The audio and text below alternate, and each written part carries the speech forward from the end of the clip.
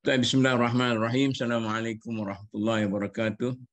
Pertama sekali saya ucapkan banyak uh, terima kasih kepada uh, terutama kepada dua personaliti kita yang uh, setia dengan perbincangan kita ini uh, yang sentiasa hadir awal walaupun kemudiannya ada orang lain hadir tetapi uh, agak terkemudian sendirilah yang agak bertentangan dengan budaya murni yang dianjurkan oleh Islam. Kita katakan wal asri bismillahirrahmanirrahim wal asri demi masa ketepatan masa itu penting. Walau bagaimanapun kita kerjasama terima kasih juga lah atas semua yang hadir yang sikit lagi akan mula hadir. Jadi kita ada Cik Arun dan kita ada Datuk Dr. Nordin Yunus dan Ah, kita ada apa tu Dr. Basri yang ah, menguruskan perbincangan ini. Jadi tajuk kita pada hari ini jadi sebelum ni kita duk bincang banyaklah tentang kerajaan, tentang jentera pemerintahan, tentang pemimpin, tentang itu dan ini. Ada kemungkinan banyak bahagian yang Ah, masalah yang dihadapi oleh masyarakat, oleh bangsa dan negara kita bukan orang ni tetapi orang bawahan yang tidak mempunyai kesedaran yang cukup, tidak mempunyai dedikasi yang cukup, tidak mempunyai falsafah hidup yang cukup dan sebagainya. Jadi hari ini kita fokuskan ah, kepada sektor ini ah, saya pun tak tahu sama ada uh, uh, Datuk Firdaus nak hari ini hari ini, baru ni dia banyak sangat nak reform apa tu uh, masyarakat. Uh, saya harap dia pun akan datang selalulah untuk bincang betul-betul. Kalau setakat sekali tembok tu mungkinlah tak tuna nah kena tembok acak kali ha Datuk Nadia mesti dah okey dah. Jadi untuk memulakan cerita kita ini ya saya uh, Cik Arun. Ya, ya. Ya, Cik Arun lah mulakan Datuk Adiana.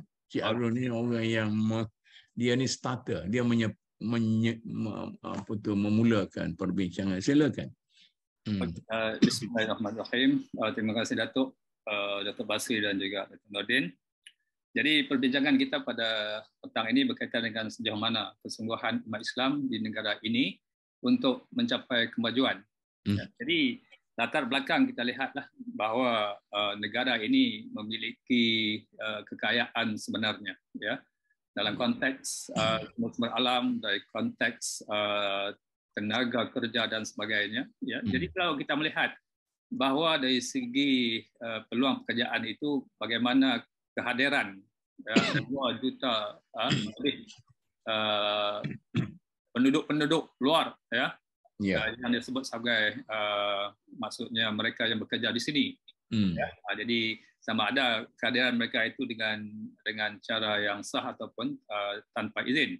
Hmm. Jadi ini menggambarkan bahawa uh, terdapatnya banyak peluang-peluang pekerjaan uh, bagi rakyat hmm. negara ini hmm. uh, terutama sekali. Tapi sejauh mana uh, keadaan ini dapat dimaksud dimanfaatkan Uh, jadi itu gambaran awal ya. Tapi apa yang saya nak fokuskan uh, pada uh, topik dalam perbincangan kita pada petang ini tentang uh, falsafah dan matlamat kehidupan ya.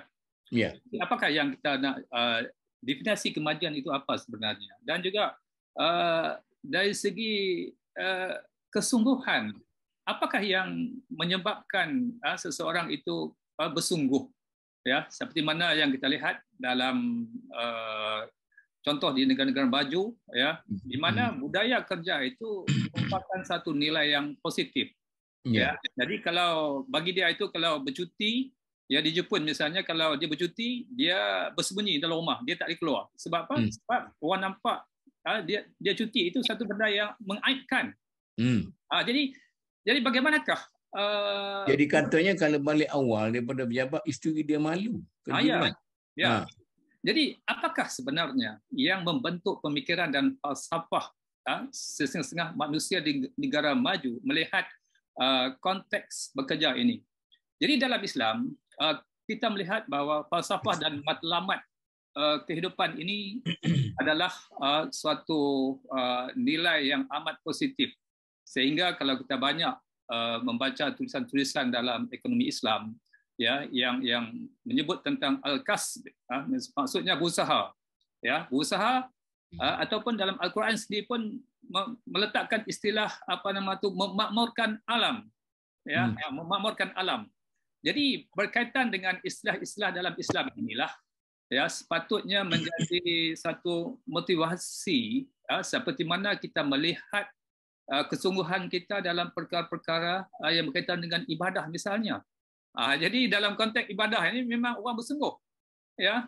Bersungguh ya. Bersedekah derma wakaf ya rajin pergi masjid ya kuliah-kuliah yang banyak dan sebagainya.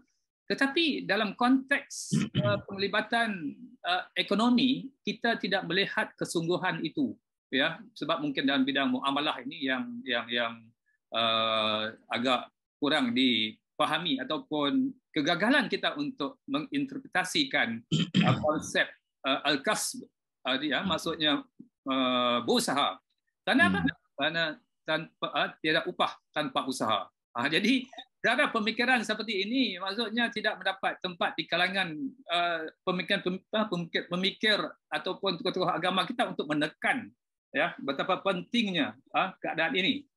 Uh, jadi uh, maksudnya kalau kita lihat dalam dalam tulisan ekonomi paling kurang ya tahap uh, berusaha seseorang itu sehingga dia mampu untuk mengeluarkan zakat. Aha, hmm. Jadi kali jadi kalau kita melihat bahawa pentingnya usaha itu uh, ukurannya minimum tu macam mana? Ya, hmm. hmm. paling kurang dia mampu untuk mengeluarkan uh, zakat. Uh, jadi sekarang ini kita perlu kepada uh, suatu falsafah ya perlu ditekan tentang matlamat hidup ya bukan hanya soal uh, berkaitan dengan uh, mantap dari sudut ibadah saja tetapi hmm. soal-soal yang berkaitan dengan ekonomi masyarakat juga perlu diberi penekanan ya yang tinggi oleh apa nama ni umat Islam di negara ini. Okey, terima kasih Cik Arun. Saya rasa uh, Datuk Nordin, Cik Arun telah memberi suatu introduction yang orang panggil broad based introduction. Uh. Dia melihat dari berbagai-bagai penjuru bagaimana gelagat yang tidak sesuai dengan idealisme Islam dan bagaimana masyarakat Islam gagal memahami konsep ibadat itu sendiri yang tidak memasukkan kerja-kerja untuk uh, dunia, buat kerja untuk akhirat saja, kemudian realiti yang tidak menggembirakan dan sebagainya. Jadi macam mana uh, Datuk Nadia nak nak bagi pandangan merimbunkan yeah. yang diberikan oleh Cik Arun ni? Ya, terima kasih Datuk. Assalamualaikum. Ya. Yang sementara itu ada lagi orang-orang hadir tu kalau dia nak cakap dia menunjukkan diri ya. ya. Tunjuk diri dia lah. Okey. Okey, saya lakukan Datuk. Okey, Datuk. Uh, Cik Arun dah buka tadi uh, gelanggang pada pada petang ni. Jadi ya. tajuk saya lihat tajuk balik ni keyword dia yang Datuk cakap sini apa kesungguhan umat Islam dan kemajuan. Ya. Yeah. Ya, tiga tiga apa perkara yang kita nak bincang petang ni lah. Mm. Ya. Jadi saya sekarang saya nak apa nak tengok fokus mana kita perlu lakukan. Pertama yeah. sekali kita sebut apa umat Islam. Mm. Ya, di Malaysia ni. Ha, di negara mm. ini Malaysia lah. Bila mm. kata umat Islam ni adakah kita maksud orang Melayu saja? Ya. Yeah. Ya sebab bukan uh, orang Melayu memang semua Islam tapi uh, Islam tu bukan bukan semuanya Melayu. Ya, ya, ya. Ya, jadi kalau kita lihat untuk konteks Melayu saja mungkin kita dapat fokus baik, uh, lebih ni fokus lagi ada tu kan. Okey bagus juga sebab umat Islam lain ya. kalau kita kata ini kedai-kedai apa tu, kedai makan, restoran apa tu. Ya, India ya. Muslim tu hebat nampaknya nah. Dia ya. punya fokus lah. Ya, jadi jadi kita nak, nak bincang mungkin saya nak lihat dari segi umat Islam orang Melayu lah dulu. Ah, Okey lah. Saya rasa Cik Arun bersetuju Cik Arun lah. Uh, umat Islam maksud kita Melayu kita lah. Ha. Ya, kalau tidak kita tak boleh fokus lah buat nak, nak indikator kesungguhan tu. Okey, okey. Okay. Yang keduanya Datuk sebut kemajuan. Cik Arun hmm. dah sebut tadi di segala dari bidang ekonomi khususnya lah. Tapi hmm. kita tengok kemajuan kita boleh ukur dari tiga perspektif lah. Iaitu yeah. sosial dan juga politik. Hmm. Eh? Hmm. Mungkin dalam sektor lain politik tu kesungguhan orang Melayu ni, umat Islam Melayu ni mungkin begitu tinggi sekali kot dalam politik mm. ni. Tapi mm. dari segi ekonomi bagaimana? Ha, yang tingginya perkelahian. jadi mana bersungguh-sungguh nak kecimpung dalam bidang politik ya. Ya. Yeah, Datuk yeah. kan tapi dia punya end result tu positif ke negatif. Kalau kita apa perlu kita bincang di sini lah. Betul, ya. betul. Ha, tapi betul. ikut Cik Arun tadi kita kena first ekonomi, isu, isu pekerjaan ialah isu ekonomi lah Datuk kan. Ya, ya, ya betul. Jadi betul. untuk untuk orang Melayu di Malaysia ni kita lihat dulu dari bidang ekonomi lah mungkin hmm. permulaannya. Hmm. Ya, kemudian hmm. kita boleh masuk bidang lain iaitu politik dan juga sosial. Ya. Nah, sosial ni maksudnya saya di segi kesungguhan, di segi pendidikan, hmm. keagamaan, ibadat-ibadat kita. Itu semua isu-isu sosial lah bekerjasama hmm. dengan dengan orang hmm. apa keliling kita yang kita panggil apa fardu fardu kifayah lah tu kan ya yeah, ya yeah.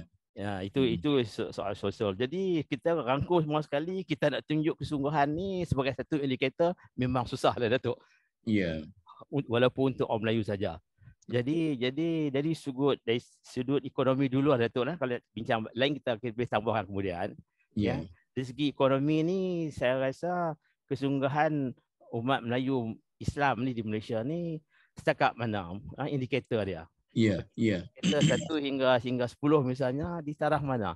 Ada mm. taraf lima atau hmm. cemerlang tujuh lapan dan sebagainya. Mm. Jadi di segi ekonomi, kalau, kita tengok indikator sekarang ni yang dikeluarkan oleh Bank Negara, uh, Treasury, Kementerian Kewangan, uh, Jabatan Statistik sebagainya. Yeah. Uh, di Malaysia kita kelompokkan kepada grup tiga, apa B40, M40 dan T20. Ya. Yeah. Jadi kita boleh tengok dalam tiga kategori ini ya, tapi duka citanya bila kerajaan keluar statistik ni dia tak sebut orang Melayu atau orang Islam, dia sebut hmm. seluruh rakyat Malaysia. Ya. Yeah. Mungkin itu data yang sensitif tak tahulah. Jadi kita perlu ambil satu itibar daripada data tersebut di manakah kedudukan kita orang Melayu Islam di Malaysia yeah, ni. Yeah. Kita ramai kita duduk di bahagian mana? hmm. bahagian T20 ke, M40 ke, B40 ke. Yeah, yeah. Yang keduanya walaupun kita indikator kita kita lihat segi orang Melayu ni Islam ni dalam kumpulan macam misalnya B40 ke M40 tu juga isu geopolitik di negeri mana lokasinya. Yeah. Di Kedah dan Kelantan kalau kita lihat ini eh, dan bilangan apa B, B40 ni memang hmm. memang lebih ramai lah daripada di di Kuala Lumpur atau di Klang Valley. Ya. Yeah. Ya, saya tengok statistik tu bilangan T20 di di Klang Valley khususnya Selangor dan Kuala Lumpur ni memang tinggi. Oh, oh. Maksudnya kategori dia kerajaan ukuran sekarang ni kalau T20 tu maksudnya hmm. pendapatan isi rumah 10,000 ke atas dah tu. Ya, yeah, ya. Yeah. Eh, kalau B40 uh, B40 tu isi rumah pendapatan bawah pada 5,000. Hmm. Hmm. Tapi di Kedah ni pendapatan itu rumah saya juga dari Kelantan saya rasa ikut statistik tu yeah. itu income mereka ni hanya dalam kadar average 3000 sebulan. Ya. Yeah. Negeri yang asalnya negeri Melayu tidak bersekutu. Tak bersekutu ya. Yeah, Kedah, yeah. Terengganu, Ah, hmm. Kelantan hmm. dan juga mungkin Perlis lah kan. Perlis. Hmm. Ya, jadi indikator ni bila kita tengok kalau kita miskin, kalau ramai orang Melayu hmm. dalam kategori katalah apa tu ramai di kategori B40, hmm. maksudnya di manakah kesukaan kita dari segi ekonomi dulu Datuk? Dari yeah, segi yeah. pekerjaan, pendapatan, dari segi taraf hidup. Jadi yeah. Ya. Jadi kita nak rumuskan secara umum tidak ada data spesifik yang dikeluarkan oleh kerajaan khusus yeah. untuk orang Melayu Islam di Malaysia. Mm, mm, mm. Ha, jadi kesugahan tu dalam bidang ekonomi saya rasa berkurangan lagi lah kita kot tak perlu yeah. lagi kot. Okey yeah. tu. Okey. Terima kasih Datuk. Saya cuba bangkitkan misalnya yang terdekat lah. Kalau kita bangkitkan dari segi sejarah dalam negara kita, saya ambil satu contoh lah. Ah, bila orang penjajah datang ke negara kita, uh, orang Melayu Islam kita dalam negara ini, orang kata dah sudah boleh berdikari lah, makan minum okey semua sekali. Sedangkan orang-orang pendatang itu uh, ada yang terpaksa menjadi buruh kasar, terpaksa menjadi macam-macam. Eh? Uh, orang kata dalam satu forum tu uh, angkut taik pun mereka itu juga tapi oleh berkat dedikasi mereka itu yang menjadi konglomerat-konglomerat besar itu ialah mereka dan anak-anak cucu mereka. Sedangkan kita statik duduk tempat yang sama. Kemudian baru ni bila COVID baru ni kita dua tiga minggu tu dah habis bekalan. Maknanya kita tidak mempunyai kegigihan. Kemudian berkhiau minta supaya kerajaan uh, sokong untuk dia nak makan, minum dan sebagainya. Macam tidak bersedia untuk berusaha sendiri misalnya. Ini saya sekadar lontar ini. Kita ada lagi kita ada sini uh, Puan Syarifah Darus dan kita ada Marina sama ada mereka nak cakap tak cakap tapi mereka hanya tunjuk gambar sini ya Datuk eh. Biar sekat tunjuk gambar tu uh, saya minta tunjuklah muka supaya mudah kita uh, ambil pengertian mereka bersedia untuk bercakap. Uh, kalau tunjuk gambar tu kalau kita panggil dua kali kalau tak cakap tak salah mereka itu juga. Macam mana ni? Saya bagi satu dua soalan tadi. Uh, apakah ini masalah yang uh, boleh menjadi asas. Macam tu juga saya pernah satu masa dulu, uh, saya pergi ke kedai kaya, uh, satu kedai yang biasa saya pergi, ada seorang pekerja Indonesia, perempuan, cukup hebat bekerja. Saya kata, pasal apa ambil orang hidung, tak mana orang Melayu di sini? Oh, uh, oh, dia kata orang Indonesia ni macam Cina dia punya kerja. Tapi dia tak katalah orang Melayu ni sebab saya Melayu. Jadi mungkin kalau saya ni dia kata Cina, mungkin dia kata Melayu ni uh, haprak dan sebagainya lah. Jadi nak nak ulah macam mana ni? Dua tiga contoh saya berikan. Hmm. Adakah ini boleh dijadikan satu asas? Kemudian pada satu peringkat, Ah, bangsa Melayu kita sudah terkenal dengan orang kata ah, bangsa subsidi. Sangat mengharapkan subsidi dan uh, tidak bersedia untuk membangunkan kembali dan kita telah diberi jaminan hak asasi, kemudian hak istimewa dan sebagainya. Kita sekadar banyak komplain dan tidak mahu melaksanakan atau mengambil peluang daripada itu. Sedangkan orang lain tak ada jaminan perlembagaan dia boleh maju. Tak ada hak asal tak ada tak ada malah kalau dari segi setengah orang kata dari segi dari segi hak asasi manusia pun mereka itu dinafikan tapi mereka boleh maju dengan sebaik mungkin Macam mana siapa nak ulas ni? Eh, Datuk ke Cik Arun?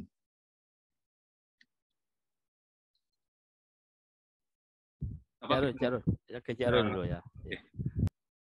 Ya. Kalau uh, kita melihat uh, masalah yang orang-orang bangsa Melayu ini, uh, yeah. kemungkinan dari satu aspek uh, iaitu sikap eh, uh, tentang sikap, bagaimana mereka melihat uh, kepentingan untuk terus berusaha secara hmm. yang lebih uh, produktif.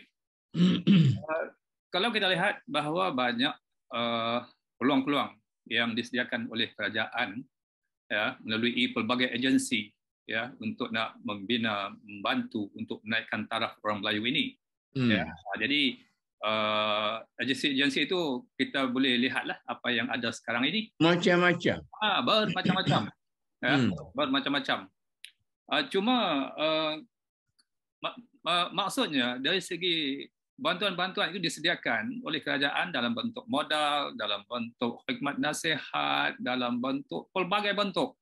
Jadi hmm. kalau kita nak katakan bahawa kita terhalang ya untuk nak uh, mencapai kemajuan, kita merasakan ini satu benda yang uh, tidak sewajarnya untuk kita memberi alasan.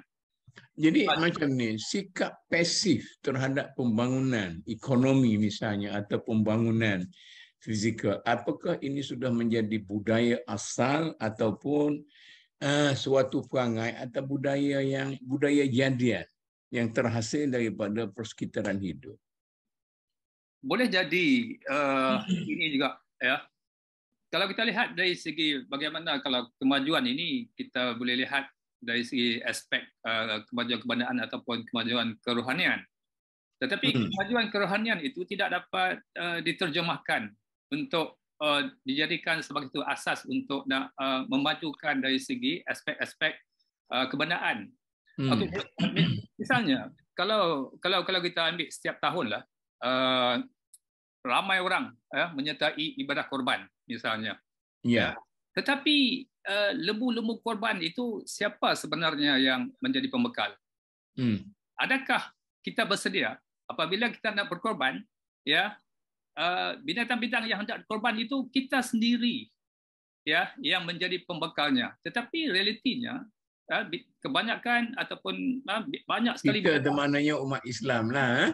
Ya uh, umat Islam itu sendirilah maksudnya ya hmm. kita terpaksa hmm. import uh, uh, lembu daripada Thailand ya daripada hmm. uh, India daripada Burma dan sebagainya hmm. apakah uh, dia punya kaitan di sini ya kegairahan kita untuk uh, sampai kepada satu puncak ataupun tuntutan kerohanian tetapi dari segi aspek ekonomi ya di mana uh, perkara yang dapat membantu untuk mencapai kerohanian itu maksudnya kita tidak dapat uh, menyediakan uh, maksudnya apa yang diperlukan untuk uh, dan jadi mengapa terjadi macam itu adakah ini adalah budaya asal orang Melayu kita macam orang putih kata dulu lah. Ha, orang putih kata orang Melayu ni malas. Tapi banyak orang beri takwil dia kata pasal orang putih tengok orang Melayu ni pakai kain. Pakai kain itu pagi, tengah hari sampai tidur malam pun kain itulah disalin sebagai itu setengah orang dari segi budaya.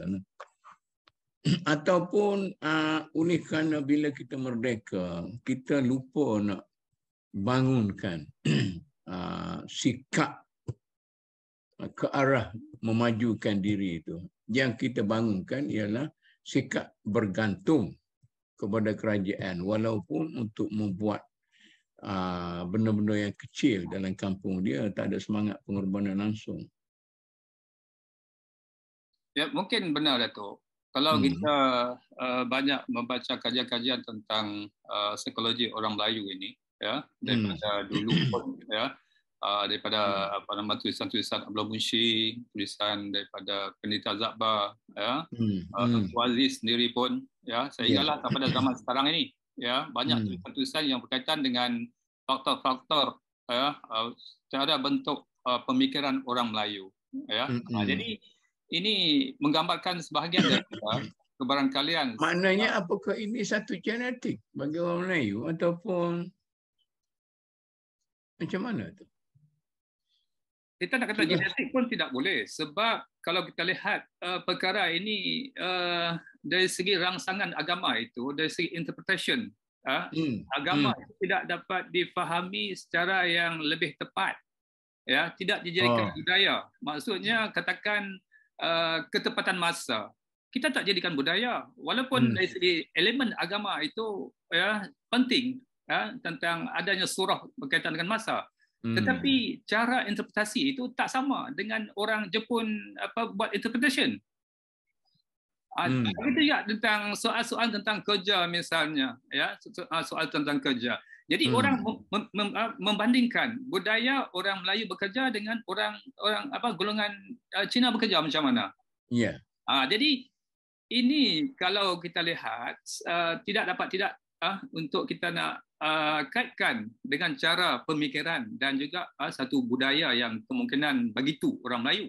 Ya, uh, jadi orang Melayu ini kalau dia bekerja dengan syarikat-syarikat internasional, dia tahu ya bagaimana budaya masyarakat uh, negara maju bekerja, etika bekerja dan sebagainya. Tetapi kalau dia berada dalam kelompok orang Melayu, uh, dia banyak, uh, dia banyak sembang, dia banyak ya uh, kira nak balik awal dan sebagainya itu kerja tak hmm. siap ya jadi kita perlu kepada satu environment yang baru, ya, satu pembudayaan yang baru, ya, hmm. untuk uh, membina kekuatan ini yang hmm. berteraskan kepada nilai-nilai agama itu sendiri.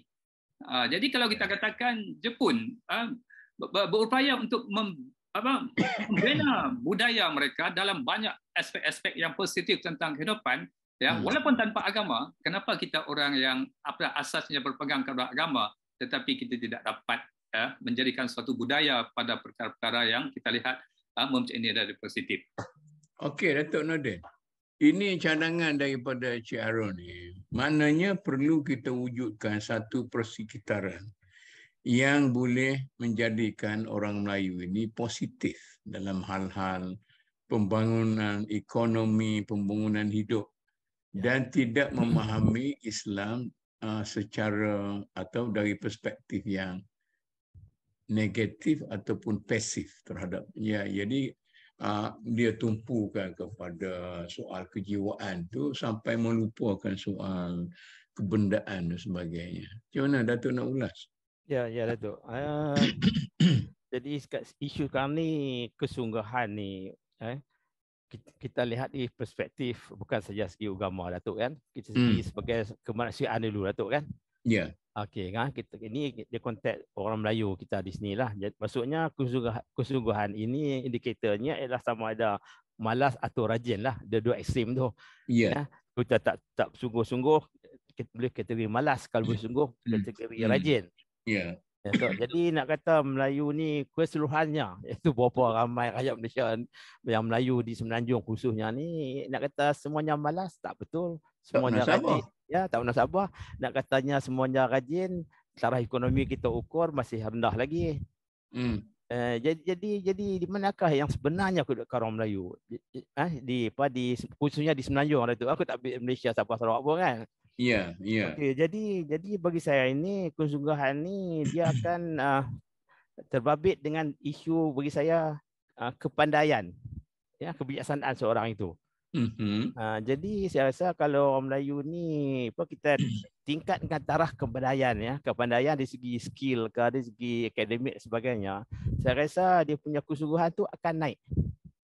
Oh, Eh Datuk, dulu kan saya pernah lah bercakap dengan Perdana Menteri Poklah pada waktu itu. Dia ya. kata ya. satu cara saja untuk memperkayakan, memperhebatkan orang Melayu ini ialah memberi pendidikan, terutama pendidikan tinggi. Tapi berapa ramai yang disponsor oleh kerajaan. Tapi ya. balik, jadi macam tu juga pasif.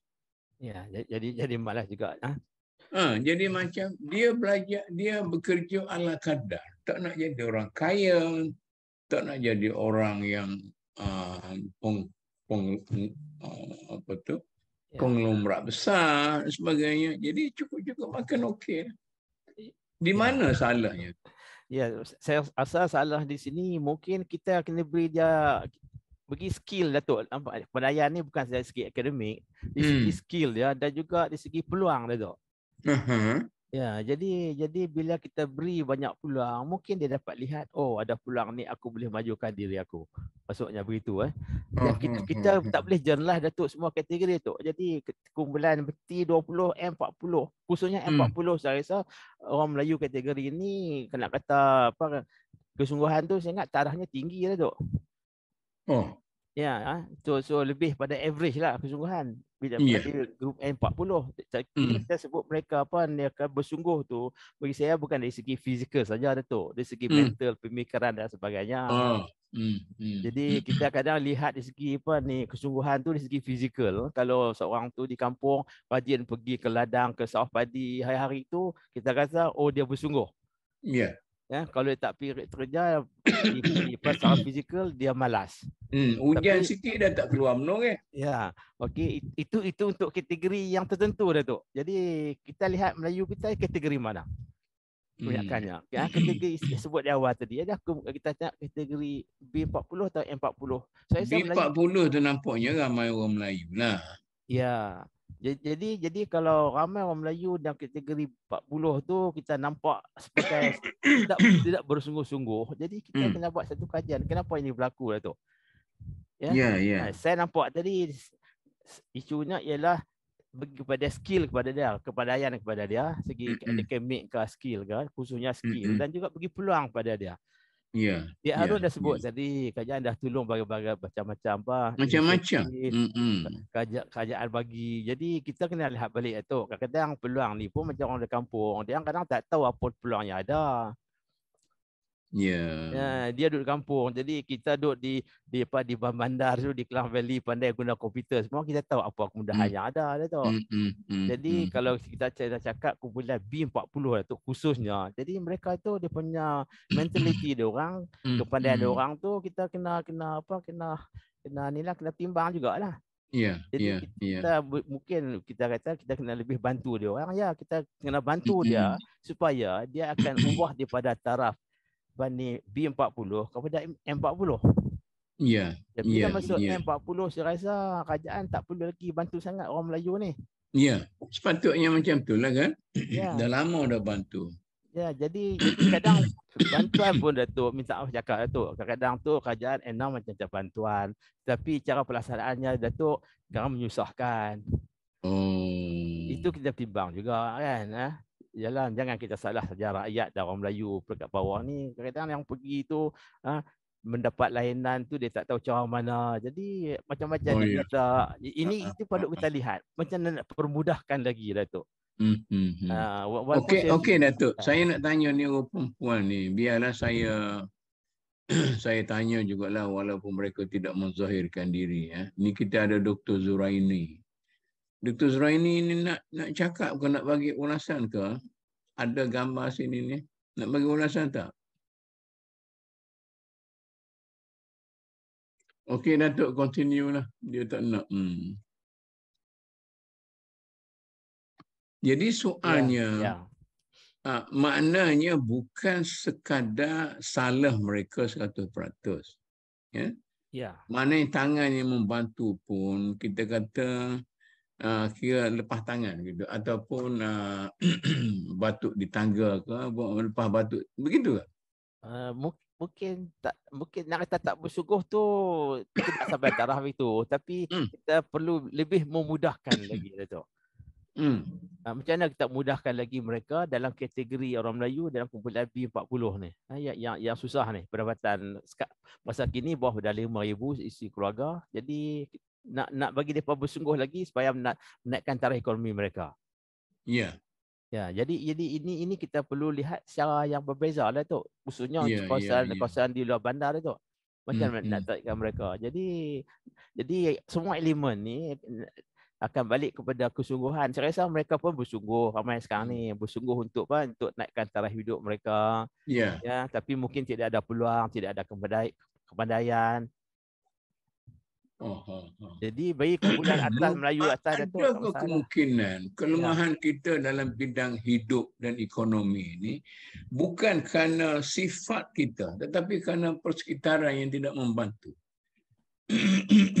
Kesik, kesekitaran tu juga mungkin uh, mungkin menentukan juga uh, Datuk tapi saya rasa lebih sini ni uh, maksudnya dia dia hidup dalam satu environment Datuk kan yang sebut, sebutkan tadi tu jadi Hmm. kita lihat kata seorang tu duduk di kampung di Pandalamat orang Melayu ya. Uh, di Hmm. Kedah ni macam di Kuala Nerang atau di di Port Ulu Kelantan kan Hmm. Okey, adakah mereka ni kita kita kategorikan sebagai tak bersungguh untuk hidup? Tak sungguh Tapi untuk yang miskin bandar ni pun ramai orang Melayu juga. Ya. Ja- Jadi di di bandar tu saya rasa mereka bersungguh tetapi saingan tu mungkin hebat kot lah tu. Hmm. Tak tahulah dia tak bersungguh kan macam ah, kasar Melayu Melayu di mana di Kuala Lumpur Datuk bagi contohkan kan. Mereka kerja sebagai apa Datuk? Ada sebagai buruh atau peniaga kecil. Jadi kita kena ingat kategori kerja mereka juga kan. Dari Hmm. segi untuk untuk hidup apa mereka buat? Ya, kerja kerja ke- kerja banyak Datuk misalnya di bandar-bandar tapi adakah kerja, kerja itu uh, memang kalau tak sesuai bagi mereka saya tak tahu bagi sebagai buruh dan sebagainya. Okey, saya bawa contoh ni. Ha? Ha, tengoklah siapa dia nak bincang. Dekat rumah saya ni ha, ha, ada kita ada angkop situ. Ha? Ha, sejak pada awal ramai orang pergi duk jual barang-barang second hand apa semua sekali kan. Ada Cina, ada Melayu, ada India. Tetapi lama kelamaan orang Cina ni uh, mungkin dalam masa setahun itu dia berjaya membuka sebuah kedai. Kedai barang-barang second hand. Barang terpakai. Orang Melayu dia tetap jual atas gerai sejak daripada dulu sampai sekarang pun masih macam tu. Ini pasal apa ni? Jarun. Pasal apa ni?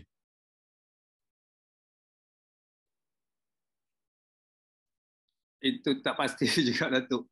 Ha. Uh, tetapi ialah uh, uh, persekitaran Dan adakah adakah mereka itu tidak mempunyai budaya hidup yang tinggi misalnya. Ni kalau di sekitar Kuala Lumpur ni, orang kita perniaga buka uh, kedai nasi lemak tepi jalan, uh, buka kedai goreng pisang, buka yang kedai kecil-kecil. Sedangkan orang lain sekejap je dia berniaga, dia naik-naik-naik sampai saya pergi ke uh, apa tu uh, supermarket yang budak-budak duk duk duk. Saya kata bila nak jadi toke aja. Sekarang ni dia jadi 3 4 tahun saya tengok jadi kuli. Bila nak jadi toke dia pun hehehehe. Jadi tak ada lah, tak ada fikir nak nak tukar dia menjadi orang yang lebih baik daripada dia lagi. Hmm. Macam mana Fadil?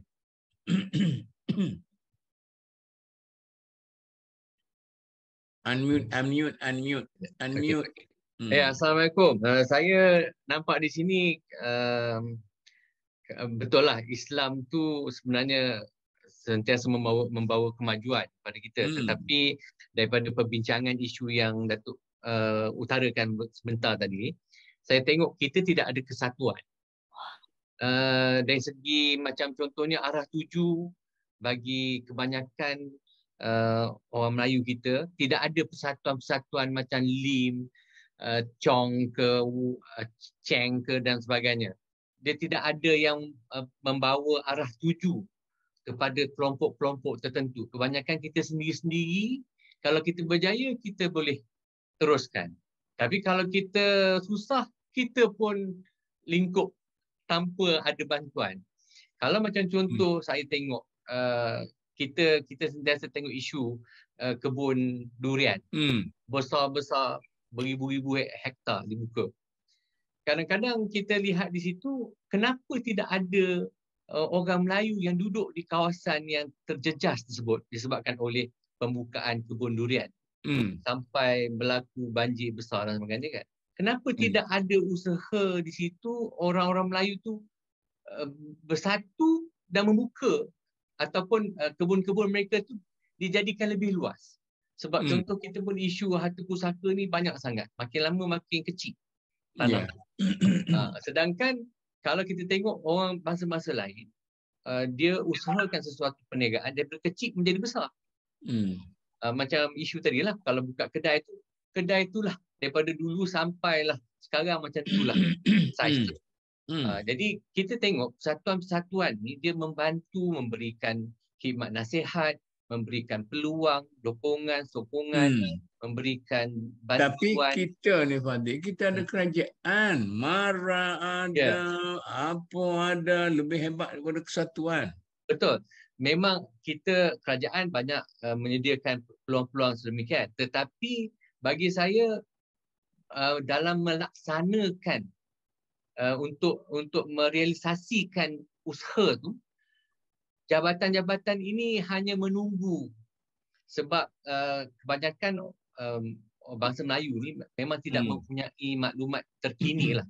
Hmm. Uh, kalau dia dia dapat pun kalau katakanlah kerajaan buat satu perancangan, uh, bangsa lain akan menerjah dulu untuk grab peluang. Hmm. Hmm. Uh, sedangkan bangsa kita, bangsa Melayu kita lambat nak bertindak, tak tahu nak bertindak macam mana. Jadi kerana persoalannya mengapa terjadi begitu?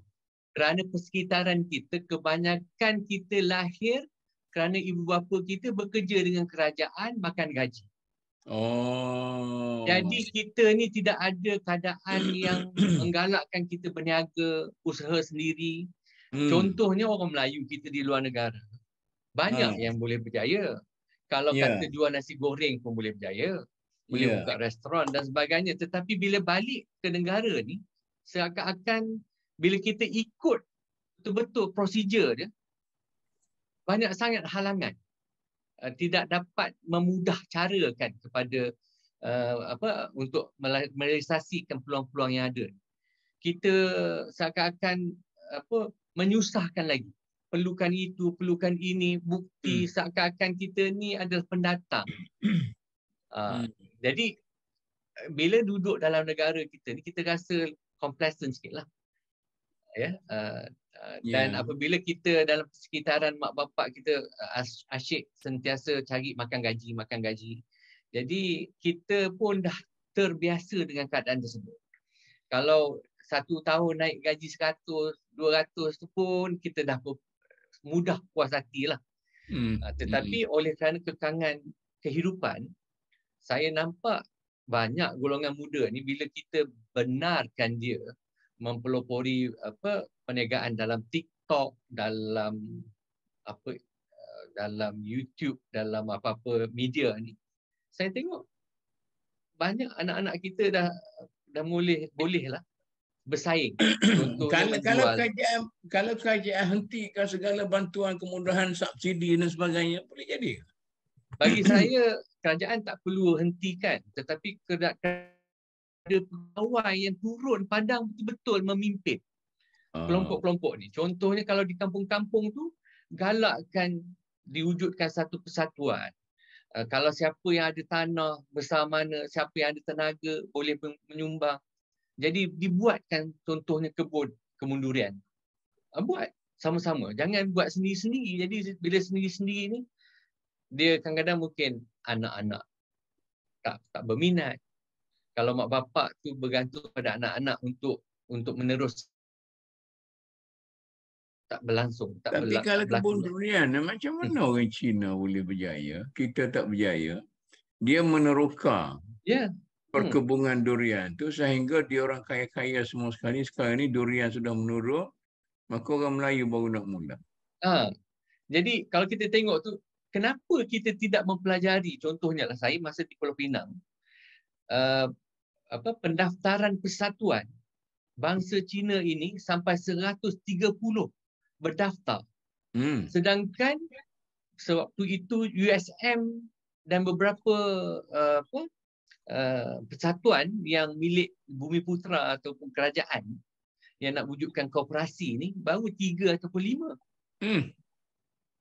Jadi terlalu besar. Tokong-tokong Cina semua mempunyai persatuan-persatuan mereka sendiri. Oh.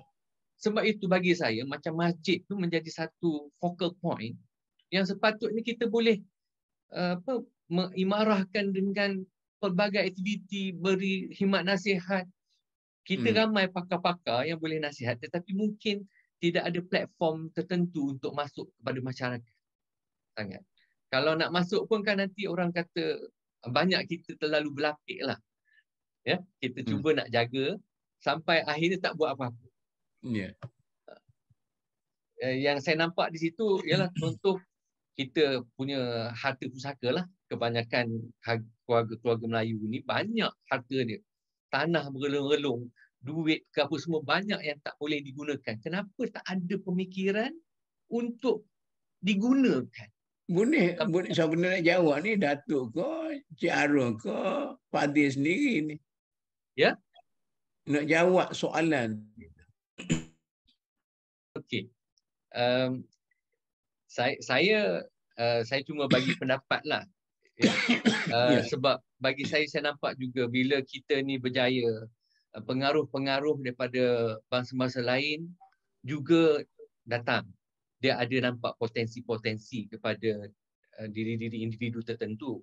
Hmm. Uh, dan bila dia tidak dikawal dan didik dengan apa persekitaran ataupun pengaruh kawan-kawan yang betul, dia boleh tersasar. Uh, dan uh, akibatnya oleh kerana dia boleh naik maju dan terus pegang sesuatu uh, kemajuan, akhirnya dia dia dikaburi oleh pengaruh-pengaruh orang yang cuba tidak memberikan peluang itu berterusan. Sebab uh, orang Melayu ni bila dia berkedudukan, dia berjaya, dia di, dikerumuni oleh uh, bangsa-bangsa tertentu yang sama ada mendapat peluang, mengambil peluang ataupun menjatuhkan hak-hak tertentu. Contohnya ialah bila kita kadang-kadang orang Melayu ni dia rasa nak memimpin, nak membawa negara ni pada satu tahap tertentu. Tetapi apabila kepimpinan-kepimpinan yang dipilih itu tersasar, banyak yang tak boleh dipercayai. Tidak ada pembelaan kepada bangsa itu sendiri. Akhirnya nampak sangat kelompangan kepimpinan dalam bangsa kita sendiri dan uh, hilang kepercayaan. Kita tidak ada pergantungan yang cukup kepada kerajaan. Uh, contohnya macam lembaga tahan, apa, getah, hmm. uh, tabung haji. Bangsa bukan bangsa orang lain. Bangsa Melayu yang tetapi di situ pun boleh berlaku kepincangan dan juga ketirisan dalam kepimpinan dan membawa kemajuan. Contohnya kalau kita ikutkan uh, tabung haji itu ada simpanan pihak uh, buat macam-macam perniagaan bukan sahaja apa kata uh, menabung dan untuk melakukan uh, ni haji dan umrah dan sebagainya tetapi di situ juga boleh memperbagaikan lagi aktiviti-aktiviti ekonomi membantu bangsa apa umat Islam lah.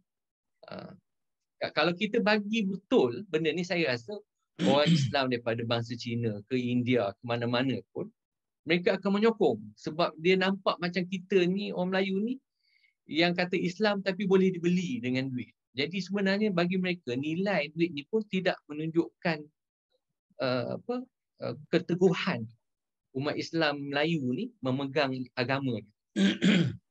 hmm. Hmm. Itulah pandangan. Okey, okey. Okey, terima kasih. Saya siapa lagi yang nak ulas ni? Kita ada para aktivis masyarakat.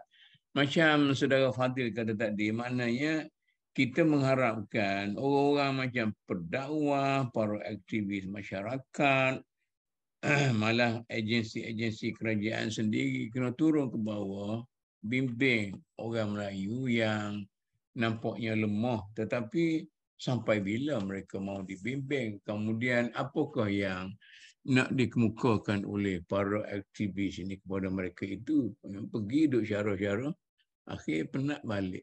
Macam mana tu? Saya lihat ya. Yeah. Uh, saya lihat satu pelaksanaan di di uh, negara China hmm. untuk membasmi kemiskinan uh, penjualan-penjualan secara tidak teratur di jalanan-jalanan dapat hmm. dibasmi dengan mudah kerana dia bersungguh uh, dalam pelaksanaan membasmi uh, perniagaan yang tidak teratur ni.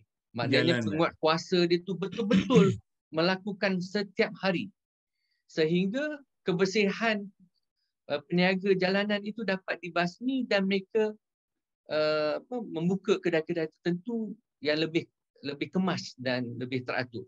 Hmm. Sebab uh, satu uh, itu yang saya nampak penguatkuasaan dalam pelaksanaan itu penting macam Datuk tadi apa Datuk Rodin hmm. uh, uh, bagi.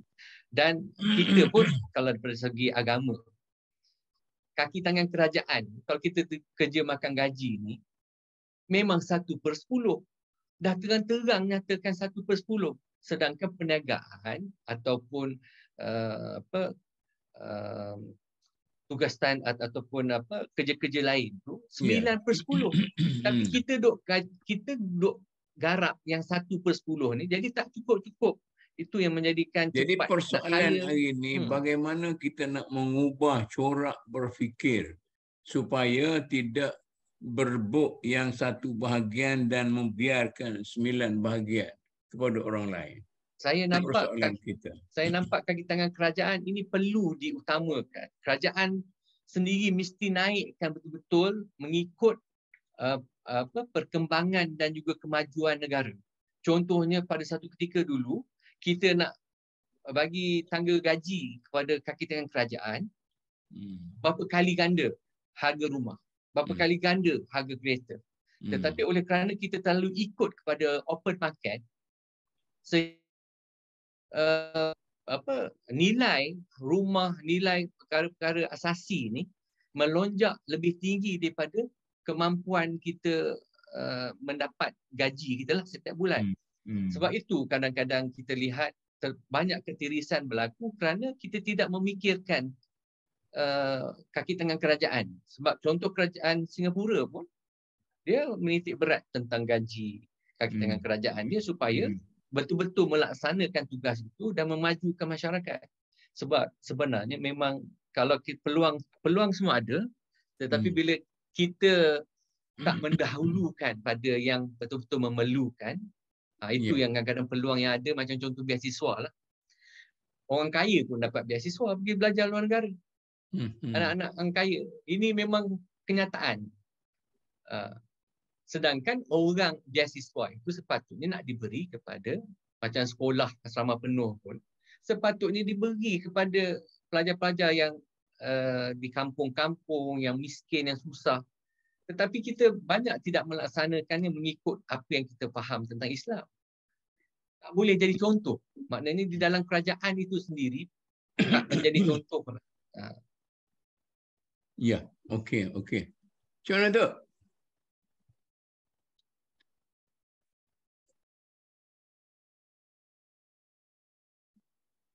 Ya tu. Hmm. Dan sekarang saya, saya pun agak apa focal point kita ni kita tengok bersungguh-sungguh dengan kemajuan ni Datuk kan nampaknya yeah, yeah. kita dah agak berlainan. Dengan Fadil kata tadi yeah. banyak kesalahannya yeah.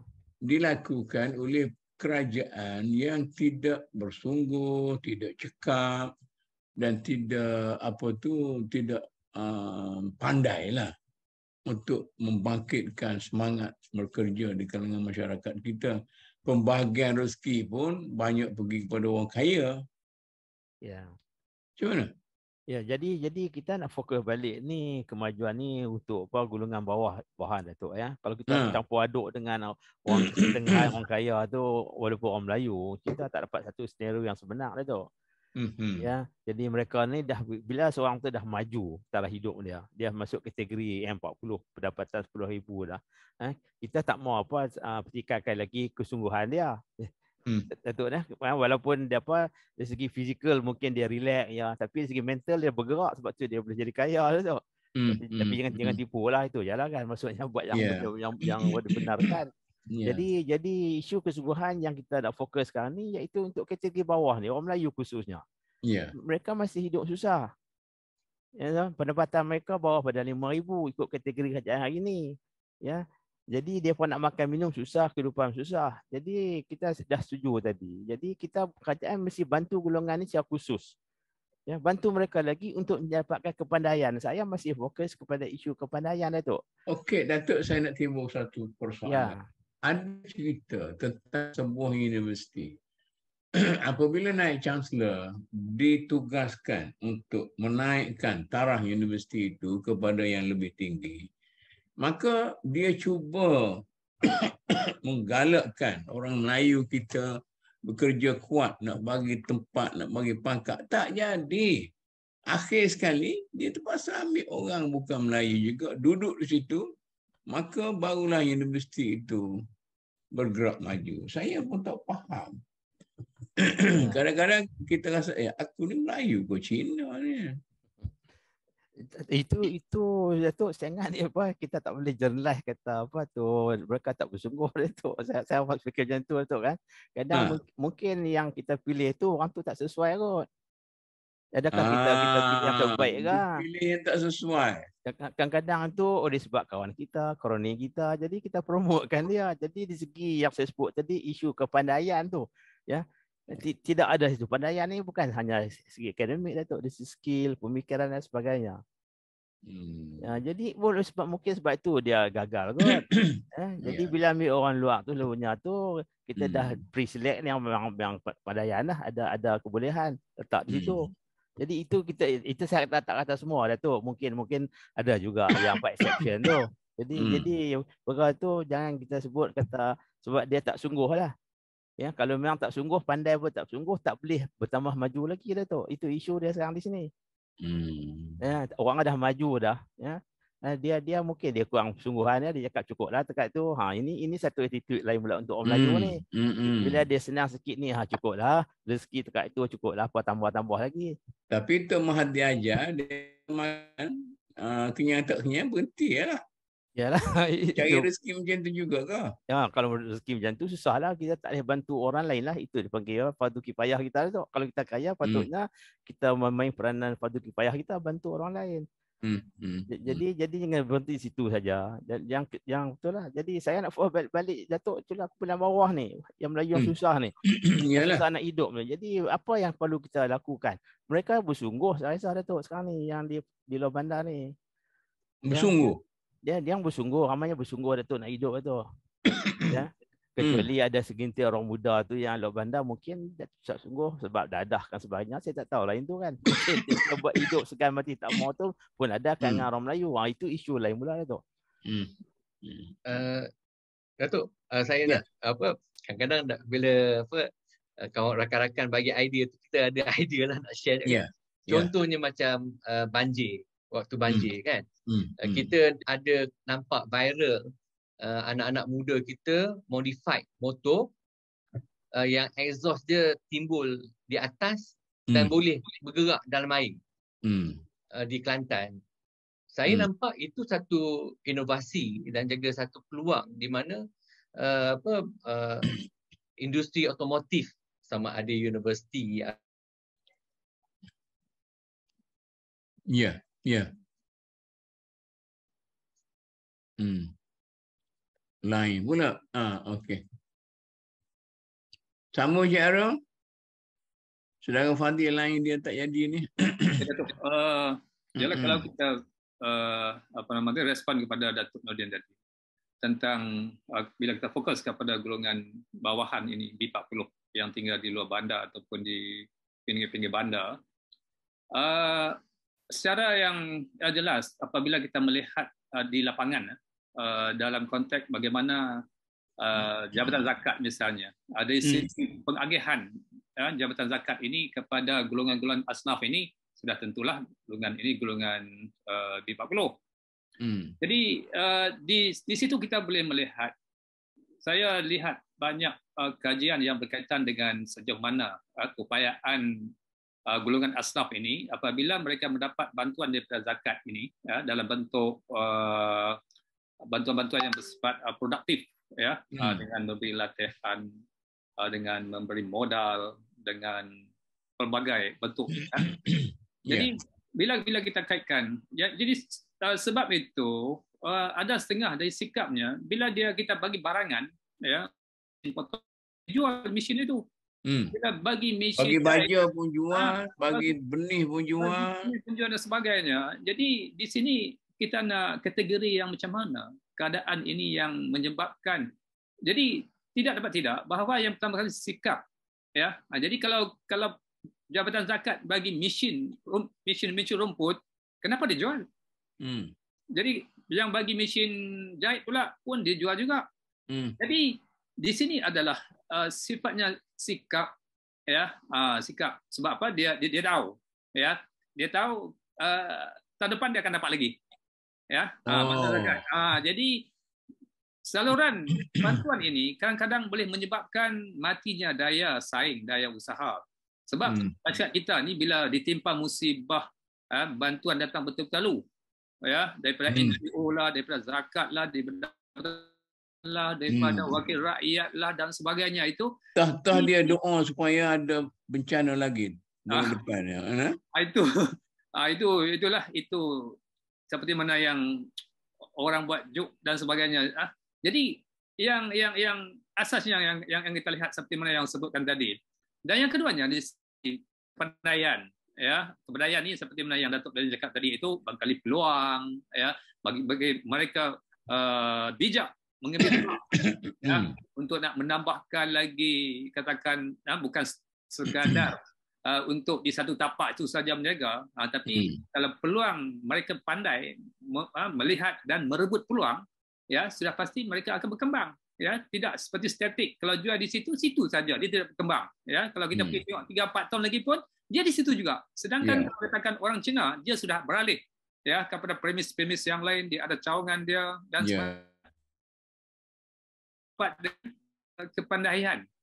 Dan yang ketiganya berkaitan dengan uh, persekitaran lagi lah. Ini yang kita tak rapikan yang tinggal di luar bandar ya. Bagaimana uh, hasil produk mereka itu nak dipasarkan ya dalam satu komuniti yang kuasa beli yang rendah misalnya ya. Uh, kalau dijual jagung ya. Siapa yang nak beli jagung kalau ya, dia tidak kena pada tempat yang betul uh, sebetulnya ya. Uh, jadi begitu juga lah contoh-contoh produk-produk lain yang di usahakan oleh ya, golongan B40 ini ya di soal persekitaran.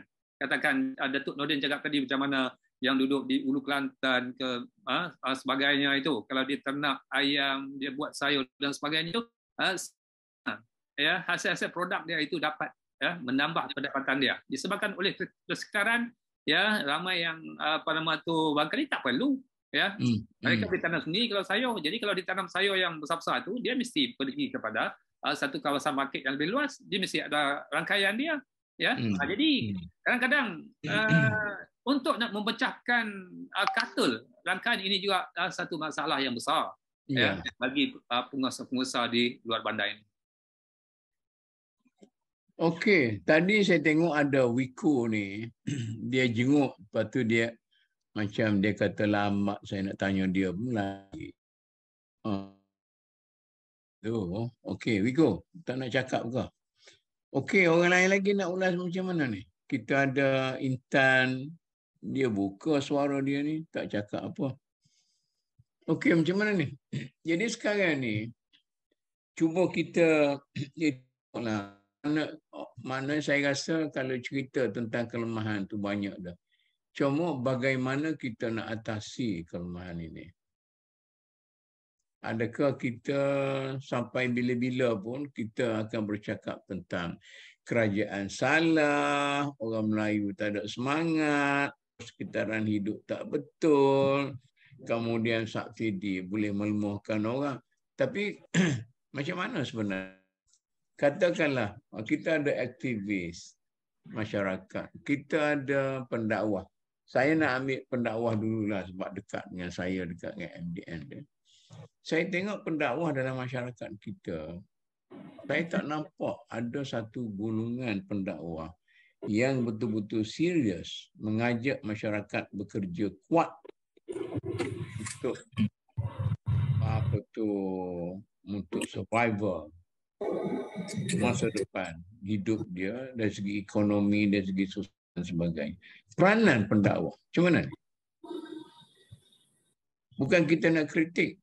Kita cumanya ha, bolehkah kita cuba menarik perhatian para pendakwah sikit supaya uh, macam dalam keadaan sekarang ni mereka dia macam kita katakan bekerja dalam ruang yang sempit sampai berlaku perselisihan pendapat pertentangan idea di antara mereka tapi kalau mereka itu keluar uh, ke lapangan yang lebih luas uh, bercakap tentang kehidupan dunia bercakap tentang dedikasi hidup. Yang ini bercakap tentang akhirat. Yang ini bercakap tentang ah, macam tu, macam tu, macam mana ni kalau pendakwah?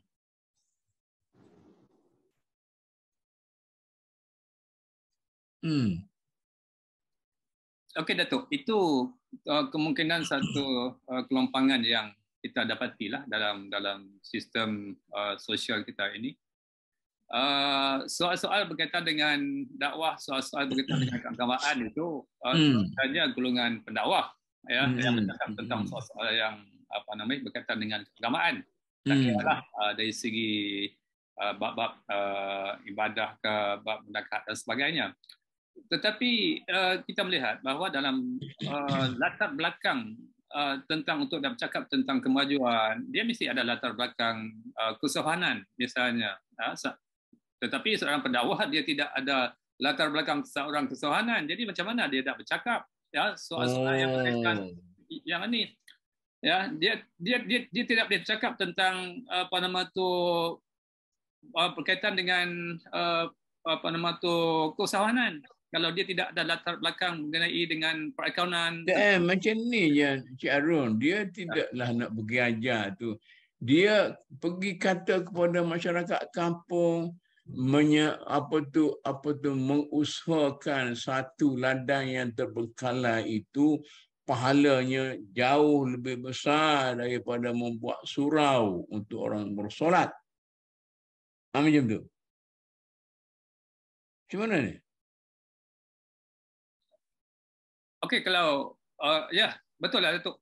Sebab apa? Uh, kita tidak boleh dapat menguasai semua bidang kan uh, hmm. misalnya dari segi seorang yang belajar aliran agama uh, dia tidak boleh apa nama tu menguasai bidang keusahawanan seperti mana orang yang belajar tentang keusahawanan ya hmm. yang latar belakang pengajian tentang pengurusan perniagaan dan sebagainya.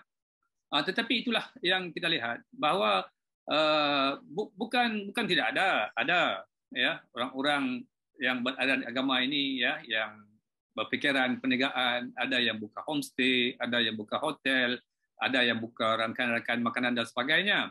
Uh, tetapi uh, dari sudut bagaimana uh, secara keseluruhannya golongan-golongan pendakwah ini ya hmm. uh, cakna ya terhadap soal-soal yang bukan berkaitan dengan agama saja tetapi hmm. dapat mengaitkan ya dalam siri-siri dakwah mereka itu tentang kepentingan ya kita untuk membangun ekonomi, membina kemajuan, kekuatan kebendaan ya kita fokus kepada uh, soal-soal kekuatan uh, spiritual uh, misalnya.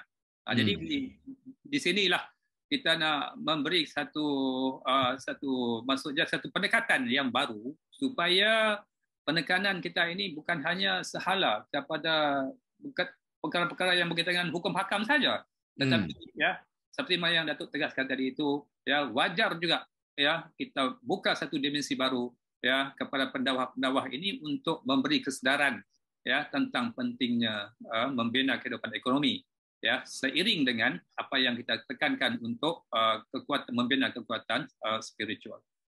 Okey, Wiko. Apa nak cakap tadi lagi sampai merajuk-rajuk pergi saya tak tanya lama tanya ha. Okey, assalamualaikum. Uh, terima kasih. Uh, Okey, uh, tertarik bila ustaz. Ya, Wiko uh, ni selalu-lalu dia terus letak nama tu kan. Nama dia lah eh. hmm. Nama saya Rawi lah tu. Saya ha. company yang saya buat untuk training apa nama? Okey lah, okey lah, okey lah. Ha, ha. Sambil okay. menyelam minum air lah. Okey. Okey. Uh, pertama saya nak sentuh yang uh, berkaitan dengan Ustaz. Saya tertarik bila peranan agamawan dalam membangunkan apa uh, masyarakat dari segi ekonomi. Uh, hmm. Kalau dulu, kalau kita dekat kampung-kampung, biasanya kalau kita nak tanam sayur, nak, nak turun berkebun pun, nak mulakan hmm. proses pertanian, kita hmm. akan tanya dengan Ustaz bila tarikh yang sesuai. Uh, Ha, kan dulu kan sebab ustaz menguasai mungkin ustaz menguasai ilmu falak dia akan bagi tahu hari apa selepas solat ajak apa semua kita hmm. akan buat betul dan hasilnya agak baik tu tu hmm. cara dulu maknanya ustaz berperanan dalam uh, ekonomi ataupun pembangunan ummah cuma yeah. hari ni perkara ni mungkin jarang berlaku kalau di kampung saya pun dah uh, jarang dah orang tanya ustaz-ustaz oh tak tanya ustaz dah uh, jarang dah untuk kalau dulu kita nak kahwin pun tanya tarikh dengan ustaz-ustaz juga sampai hmm. tahap macam tu uh, hebatnya agamawan ni dalam masyarakat kita. Okey. So cuma dari segi ekonomi sebenarnya kita bukanlah sampai nak suruh ustaz cerita pasal macam mana nak uh, buka kedai, macam mana nak berniaga, hmm. macam mana hmm. nak ni. Cuma hmm. kerana hmm. ustaz uh, ataupun agamawan kita ni membina masyarakat sebab oh, golongan B40 uh, terutamanya dia suka pergi masjid, surau dan yeah. kadang-kadang ia nampak jadi macam negatif. Masjid surau ni pergi tinggalkan anak dengan isteri duk kompang-kompang kat rumah apa semua kan akan berlaku masalah sikit. Cuma dekat masjid ustaz-ustaz hanya mengajar kitab dan kisah-kisah yang kalau saya tingkat lima dengar saya dah dekat 40 ni pun dengar juga cerita yang sama. Okey. Apa cerita salah yang sama? lebih kurang lah kalau Isra' Mi'raj. Macam pir, macam piring pecah lah. Ha? Macam piring nyanyi yang pecah. Ha? Okey. Cuma kalau katakan ustaz-ustaz kita selit sedikit motivasi kepada masyarakat supaya uh, tingkatkan produktiviti, amanah dalam bekerja. Sekarang ni dalam khutbah Jumaat pun ada pasal rasuah dan sebagainya. Tapi amanah hmm. dalam bekerja, tanggungjawab kita sebagai muslim memakmurkan negara uh, memakmurkan bumi Tuhan ni adalah tanggungjawab kita sebagai khalifah dan sebagainya. Hmm. mendirikan motivasi dalam masyarakat supaya masyarakat lebih uh, termotivasi. Sebab sebahagian kita terutama golongan golongan B40 memang uh, apa buah-buah ustaz tu yang pegang sampai bila-bila. Kalau kita, ustaz kata A dia akan kata A. Dan alangkah baiknya kalau ustaz motivate masyarakat terutama muslim supaya lebih bermotivasi dalam kerjaya dalam uh, apa amanah punctuality tak curi hmm. tulang apa semua hmm. tu penting dan jarang disentuh. Okey, itu yang pertama. Yang keduanya uh, bila dalam khutbah pun tak ada tu. Uh, jarang lah, jarang hmm. untuk hari pahlawan ada rasuah ada sentuh, merdeka hmm. ada sentuh kan. Tapi hmm. sampai hari meningkatkan produktiviti masyarakat hari buruh ada cuma tak ah, pekerja yang baik apa semua tu kan. Tapi kita yeah. nak cerita tentang peranan agamawan para ustaz kita dia kena modify knowledge dia sesuai dengan bukan baca kitab yang ditulis ulama dulu hari ni pun sama yang kupasan dia. Ulang yang sama eh? Mm-mm. Kita nak kupasan yang lebih realistik. Contoh bila kita cerita pasal Isra Mi'raj pun kita akan cerita benda yang sama lah. Naik ke langit apa semua kan. So sampai ah kita pun dah tetap lah. Tak pergilah dah tahu lah. So kalau ustaz tu betul orang lain pun tajuk sama pun lebih kurang juga cerita dia. Oh. Okay, tak apa. Itu bukan niat nak mengkritik ustaz cuma tambah baik supaya untuk kita kena real pada masyarakat yang hari ni. Sama macam ustaz kata tadi lah. Tembak hmm. sama sendiri lah. Sekarang ni dah tak ada peluru nak tembak orang lain. Yeah, orang lain betul. mungkin tak tahu siapa dah. Yang kita tahu ah yang tu yang ni kan. So tak ah, apalah. Tembak menembak sama sendiri. Ah tu tu apa pandangan dia orang lah. Kita kita sebagai orang awam yang tak berapa pandai ni tak berani nak menyentuh banyak. Cuma pandangan saya sedikit yang tadi. Cuma apa yang saya nak sentuh berkaitan dengan uh, kita masih lagi sama uh, bincang tentang B40 kalau kata tadi uh, apa uh, Cik Harun tadi kata bagi bagi apa bagi bagi pun juga. Hmm. ada orang bagi yang memang, ayam pun jual bagian ayam yang warna-warni tu pun jual. Yeah. so tu tu dah kita dah uh, rasa lebih kurang pada standard. Saya saya terfikir tak, kalau kita pasal B40 kita pun rasa sebab kita dalam dunia perniagaan dan kita dalam dunia trainee anak-anak bangsa kita. So kita boleh melihat macam mana motivasi anak-anak kita ni anak bangsa kita, anak-anak muda kita. Cuma uh, saya saya terfikir kenapa uh, adakah tujuan bantuan yang kita bagi adalah untuk uh, terus membiarkan mereka miskin. Okey, hmm. maksudnya bantuan ni bukan untuk meningkatkan produktiviti mereka. Bukan yeah. untuk bantu ni dia takkan boleh hidup pun dengan bantuan kita bagi. Hmm. Macam semalam saya baca lebih kurang 16 juta peruntukan uh, oleh Majlis Agama Islam Kelantan kepada lebih 8000 uh, asnaf di Kelantan. Terutamanya hmm. ya uh, miskin ni lah untuk bantuan 16 miskin juta. Tegak. Hmm. Uh, 16 juta dengan 8000. Saya saya terfikir anda kata 18 juta tu sebahagiannya dibuat di, bukan diberi kepada dalam bentuk bantuan makanan yang hanya terus menjadi untuk tenaga dan seterusnya uh, ke toilet dan sebagainya. Cuma bagaimana kita nak bantuan tu lebih kepada produktif produk, produktif. Kita bagi sekali dia boleh uh, terus bina family dia untuk setahun tak payah minta bantuan. Bagi hmm. contoh. Uh, okay, so saya terfikir kenapa masih lagi kita bicarakan tentang B40, B40, B40. Contoh pasal uh, saudara tadi sebut pasal uh, pergi apa belajar overseas pun ada juga orang kaya pergi MRSM hmm. pun ada yeah. orang kaya. Betul yeah. kita tahu uh, ramai uh, B40 yang perlukan pendidikan yang sampai satu masa sebab tu orang kata ragging dekat uh, sekolah asrama penuh ni banyaknya dilakukan oleh anak-anak B40 yang mereka tak tak tahu pun macam mana gaya hidup dan macam mana nak develop hidup dia. Tapi pendidik, saya yakin bahawa pendidikan yang mengubah kita dan saya pun perjuangkan tentang pendidikan untuk orang miskin. Macam kita buat hari tu kita ada satu perancangan untuk uh, KL. Uh, kita panggil apa? Masa tu kita buat budak KL tajuk dia. Sebab macam mana kita nak buat di setiap rumah uh, flat kita nak buat tempat supaya cikgu-cikgu ataupun student universiti datang mengajar budak-budak buat homework supaya mereka setiap orang buat dia boleh pergi sekolah dengan happy. Itu antara planning yeah. kita. Sebab kita yakin bahawa pendidikan ni akan mengubah uh, masa depan uh, satu-satu bangsa tu lah. Okay, yang tu hmm. kita tak nafikan. Okay, cuma saya saya tertarik satu idea dalam perbincangan kita sebelum ni pun kita kata kenapa kita asyik fokus sampai petrol pun nak bagi B40 saja sedangkan uh, RON 97 sedangkan M40 uh, pakai uh, RON 97 dia jalan lagi banyak dan dia menghasilkan cukai lagi banyak untuk negara Kenapa hmm. dia tak tak dapat kelebihan menggunakan benda yang asas untuk masyarakat? Hmm. Kenapa sampai hmm. nak kena ada kad untuk orang miskin? Adakah dengan kad ni akan melahirkan lagi ramai pemalas? Dan orang yang separuh rajin macam dah sampai M40 tak apalah aku cukup setakat ni lah kerja lebih yeah. pun kena bagi tukar lebih dapat bantuan hmm. lebih dan aku tak limit kalau katakan RM5,000 aku nak RM4,900 je gaji aku so hmm. sampai tak memang ini yang orang berfikir oh, dalam uh, kita di bank kalau naik level eksekutif dah tak ada overtime So aku tak nak biar aku sampai level uh, bawah sikit daripada eksekutif. Hmm. So aku boleh kena overtime lagi. So sampai yeah. tahap tahap macam tu. Cuma hmm. apa salahnya? Memang kerajaan banyak bantu dan sebagainya. Tapi kita lebih fokus kepada macam mana nak meningkatkan uh, lebih ramai M40 ataupun T20 di kalangan Muslim. Sebab yang inilah yang akan membantu uh, B40 ni.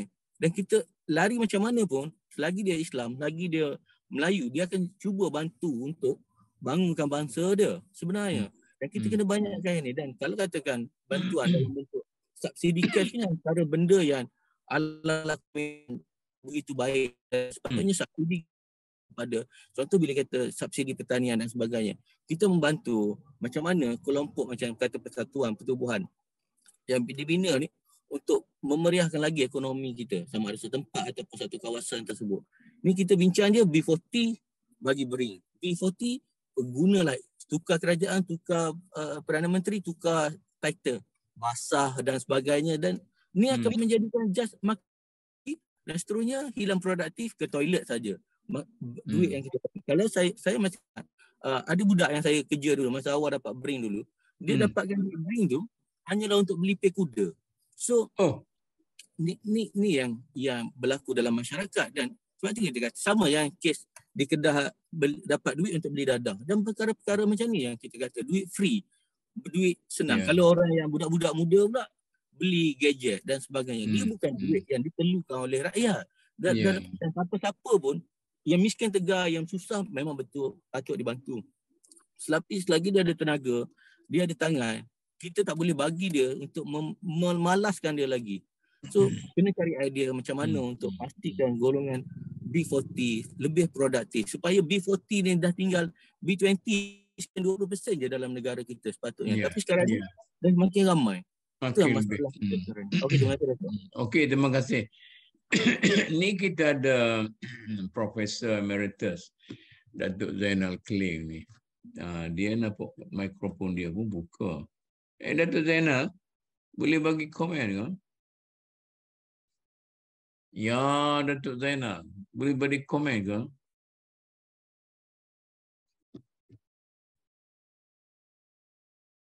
Tak ada senyap-senyap dia ni. Ah, siapa dia nak komen ni? Ah, Fadil. Silakan. Tadi ya, Alhamdulillah. Hmm. Uh, tadi saya disconnect tu.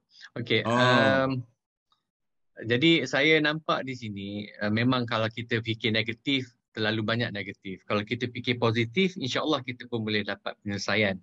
Sebab hmm. saya saya setuju tadi dengan saudara apa daripada Wiko Academy tu. Hmm. Sebenarnya bila uh, ilmuan apa agamawan kita dapat menasihat memotivasikan lagi masyarakat hmm. bahawa sebenarnya kejujuran itu akan men, akan dan juga kata eh, tindak tanduk yang mahmudah ini akan melahirkan generasi yang lebih baik sebab bukan semuanya bangsa lain tidak uh, baik mereka hmm. juga menghargai kalau pekerja-pekerja bumi putra atau orang Melayu yang jujur dia lagi percaya Yeah. Dia lagi bagi kepercayaan, dia bagi juga peluang-peluang perniagaan.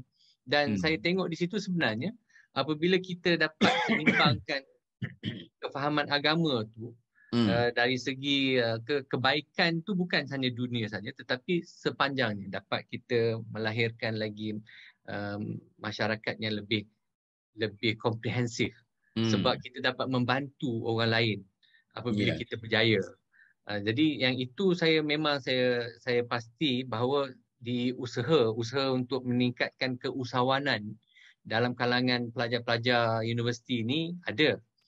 Uh, tetapi mungkin itulah kepimpin uh, nak perlu pimpin tu ialah kerana contoh pelajar-pelajar marah ataupun apa uh, uh, yang ikut uh, kemahiran-kemahiran ni.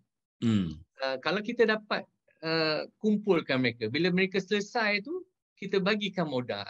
Buka buka uh, macam contohnya kedai jahitan, hmm. kedai kek, kedai bengkel bengkel apa mechanical motor dan sebagainya. Hmm. Kita bimbing mereka sehingga mereka bukan terbiar cari kerja sendiri tetapi mereka boleh terus mengusahakan. Eh, saudara Fadil. Ya. Yeah dua, ming, dua bulan lepas ke, bulan lepas saya buat lawatan pergi melihat uh, college community, uh, lepas tu uh, sekolah-sekolah vocational semuanya. Saya tengok mentaliti untuk bekerja kerajaan tu masih lagi tinggi. Hmm. Walaupun dia duduk di uh, tempat-tempat uh, macam tu. Macam mana nak nak tukar mentaliti masyarakat kita ni daripada mengharapkan kerja ambil dia bagi kerja kepada untuk berdikari.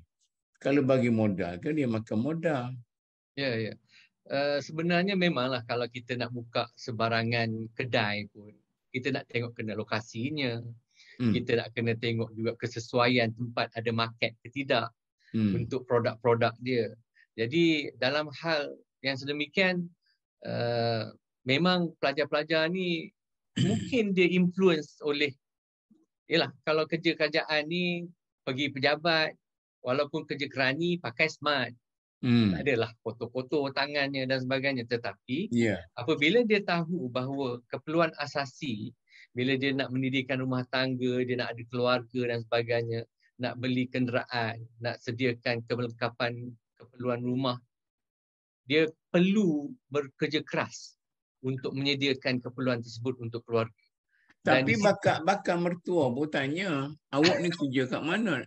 Dia jawab, ya, betul. Uh, tapi dia buat bisnes, dia kata, kamu tak ada kerja, kamu buat negosiasi sikit-sikitnya. Padahal ya mereka sikit-sikit lebih baik jadi yeah. daripada kerani. Tadi macam mana ni mentaliti macam ni? It, betul. Sebab kalau dia berniaga, dia buka perniagaan sendiri, kadang-kadang tak adalah pun income tax dan sebagainya. Hmm.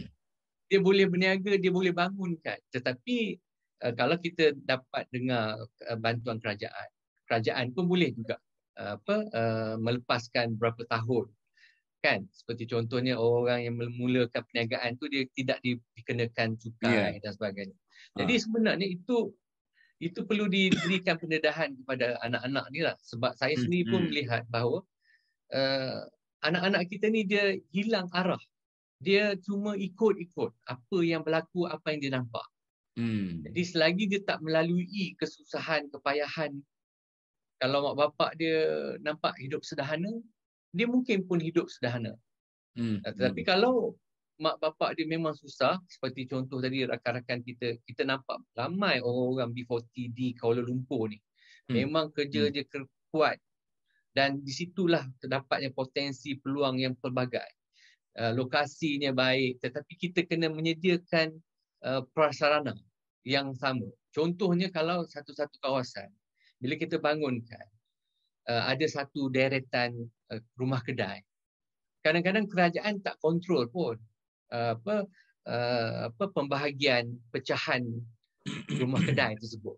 Hmm. Jadi rumah kedai itu semua dibeli oleh uh, satu jenis bangsa uh, satu bangsa sahaja hmm. dan peluang-peluang untuk orang bangsa lain meniaga tidak tidak ada kat situ. Di situ perlunya kawalan-kawalan pihak kerajaan untuk membahagikan aset negara ni seimbang supaya tidak nampaklah apa kepincangan hmm. ketidaksamarataan hmm. dalam ekonomi itu. Hmm. Jadi contohnya dalam uh, dari segi perumahan kalau kita tengok rumah-rumah flat tinggi pangsapuri uh, yang orang kata rendah kos rendah dan kos sederhana memang ada bangsa-bangsa Melayu. Hmm. Tetapi kalau pangsapuri mewah uh, ini kita boleh nampak dan rumah-rumah teres telah pun diperlu pelopori oleh orang-orang tertentu.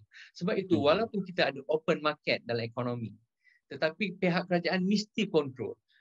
Uh, macam contoh ialah bukan kata apa uh, negara China tetapi itu yang di, dilakukan oleh uh, negara komunis ya. Uh, hmm. yang seimbangkan dia dia memastikan bahawa semua rakyat dia terbela. Uh, kalau ada pembelaan ni insya-Allah uh, apa anak-anak kita ni pun didedahkan dengan peluang yang sama. Hmm, hmm, hmm, Tapi hmm. sekarang ni tak sama. Kita nampak memanglah uh, ada anak-anak kita yang willing to work hard untuk jadi petani berjaya dan sebagainya. Sebab yeah. contoh tu dah banyak dah. Cuma ketidakseimbangan uh, apa agihan uh, peluang ini yang kita tak kontrol sehingga dah telan dah dah terlanjur dah terlambat baru kita sedar. Itu yang Hmm. Uh, sayang sudah sudah pula bising salah mempersalah tahu satu uh, kita tak boleh salahkan orang lain sebab orang lain nak berjaya pun memang bukan senang pun dia duduk 40 tahun dalam hutan tu dan ya, membangun ya, dan sebagainya lah. kita uh. tengok orang pergi jual durian kita tak tengok macam mana mula dia tebang tebas apa semua sekali kan saya sendiri pun uh, melatih diri saya Hmm. memajukan kebun macam tu. bukan walaupun saya sebagai jadi pensyarah tapi Hmm. saya juga dulu bukan bidang perniagaan saya bekerja dengan Jaya Jusko uh, macam mana nak nak milih lokasi nak bangunkan apa Aeon kan Hmm. Hmm. Hmm. itu semua ada adalah keperluan tu tapi kadang-kadang uh, uh, macam kepandaian ataupun skill eh, skill kemahiran dan juga pengetahuan ini perlu diberikan secukupnya lah uh, dan Hmm. uh, anak-anak kita ni memang perlu di- ditanya kenapa nak buat apa masuk Hmm. kursus ni untuk apa Ya. dan bukan sekadar untuk memberi keuntungan kepada universiti membuat penjanaan ekonomi Hmm. tetapi uh, universiti juga mesti memastikan pelajar itu suka kepada apa yang dia buat apa Hmm. bidang yang dia masuk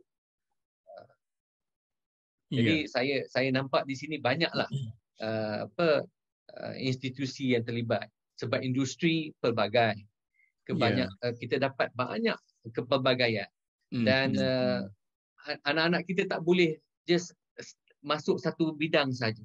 Dia jadi engineer pun dia kena ada kesawanan. Dia masuk bahagian uh, fashion pun dia kena ada kesawanan. Hmm. Uh, banyak juga pelakon-pelakon kita pun dah jadi usahawan. Hmm. Uh, kemudian uh, contohnya di di universiti saya rasa ramai juga yang berminat untuk menjadi usahawan. Ya. Tetapi sebab ke- komitmen dia uh, dia dia mengajar tu rasanya lebih baik uh, mungkin dia tumpu ke situ sebab contoh di dalam universiti yang saya ada uh, lecturer tu dia buat tanam terung Hmm. saya tetapi apabila dia berjaya ada uh, unit uh, ke apa unit uh, apa nama perniagaan ataupun uh, unit uh, uh, yang yang yang nak memajukan lah penjanaan Ya. ekonomi untuk universiti ambil Hmm. alih terus perkara tu terba, ter, uh, apa terbengkalai usaha Oh, dia orang ambil alih.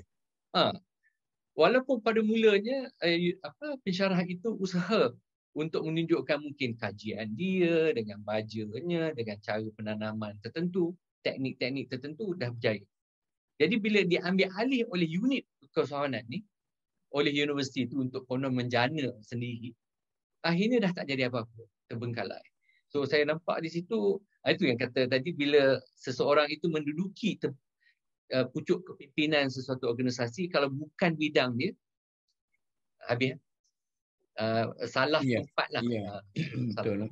Hmm. salah orang pada salah tempat Betul. Okey. Siapa lagi nak, nak, nak bagi ulasan ni? Ah, Prof apa tu Ah, Prof ah, apa tu tadi dah tak ada dah. Hmm. Siapa lagi nak bagi ulasan? Ha, Datuk. Macam mana? Cik Arun, Cik Arun dulu. Silakan. Arun. Macam mana? Bagi Datuk dulu. Saya dulu. Ah.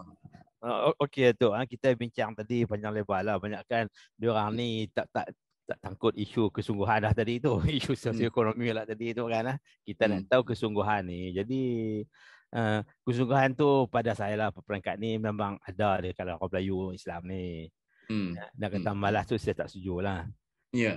Okey, Datuk, Minggu, ah. lep- minggu lepas, minggu lepas Ya. ke dua minggu lepas, ya, Prof. Firdaus mencadangkan supaya diadakan revolusi mental. Tapi siapa Hmm. dia sebut itu dah cakap benda lama ni. Ah, dia punya program macam mana tu apa maksud dia ada mental tu Dia, dia, dia, dia kata kena balik kepada Senu Abdul Rahman, balik kepada orang dulu-dulu revolusikan mental orang Melayu lah supaya tukar dia punya mood, dia punya mentality semua sekali untuk mencari apa tu. ya Ha. Tapi uh, banyak juga orang kata ini ini balik-balik nak balik kepada zaman dulu. Dah tahu dah tak jelas, tak gagal, gagal. Hmm. Ya, revolusi mental tu mungkin dari segi konsep Islam dia kita tengok berdekatkan orang daripada nilai Islam lebih baik gitu kan. ah. Hmm. Tengok hmm. itu eh, bila bila masuk nilai Islam tu memang dah apa satu revolusi lah. Ya. Khususnya ada segi Eh, apa, ini selain daripada pendakwah, aktivis lain tu siapa dia? Orang sosiologi ke, kita NGO. tahu juga universiti ya, pensyarah sosiologi ni dia ya. dia banyak cerita tentang bagaimana menukar masyarakat jadi sebab masyarakat yang aktif.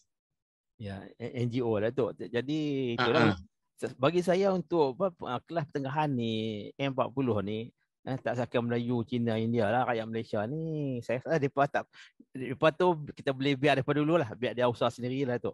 Let them do, ah, ha? let them Oh think. gitu. Ya, saya Di yang NGO kita sekarang ni kan banyak ya, kerja ya. dia pungut dana daripada orang berada, dia pergi bagi kepada orang tidak berada. Itu kerja dia. Menjadi orang tengah. oh, tak. Ha, dia boleh tambah lagi ke aktiviti dia supaya lebih berkesan.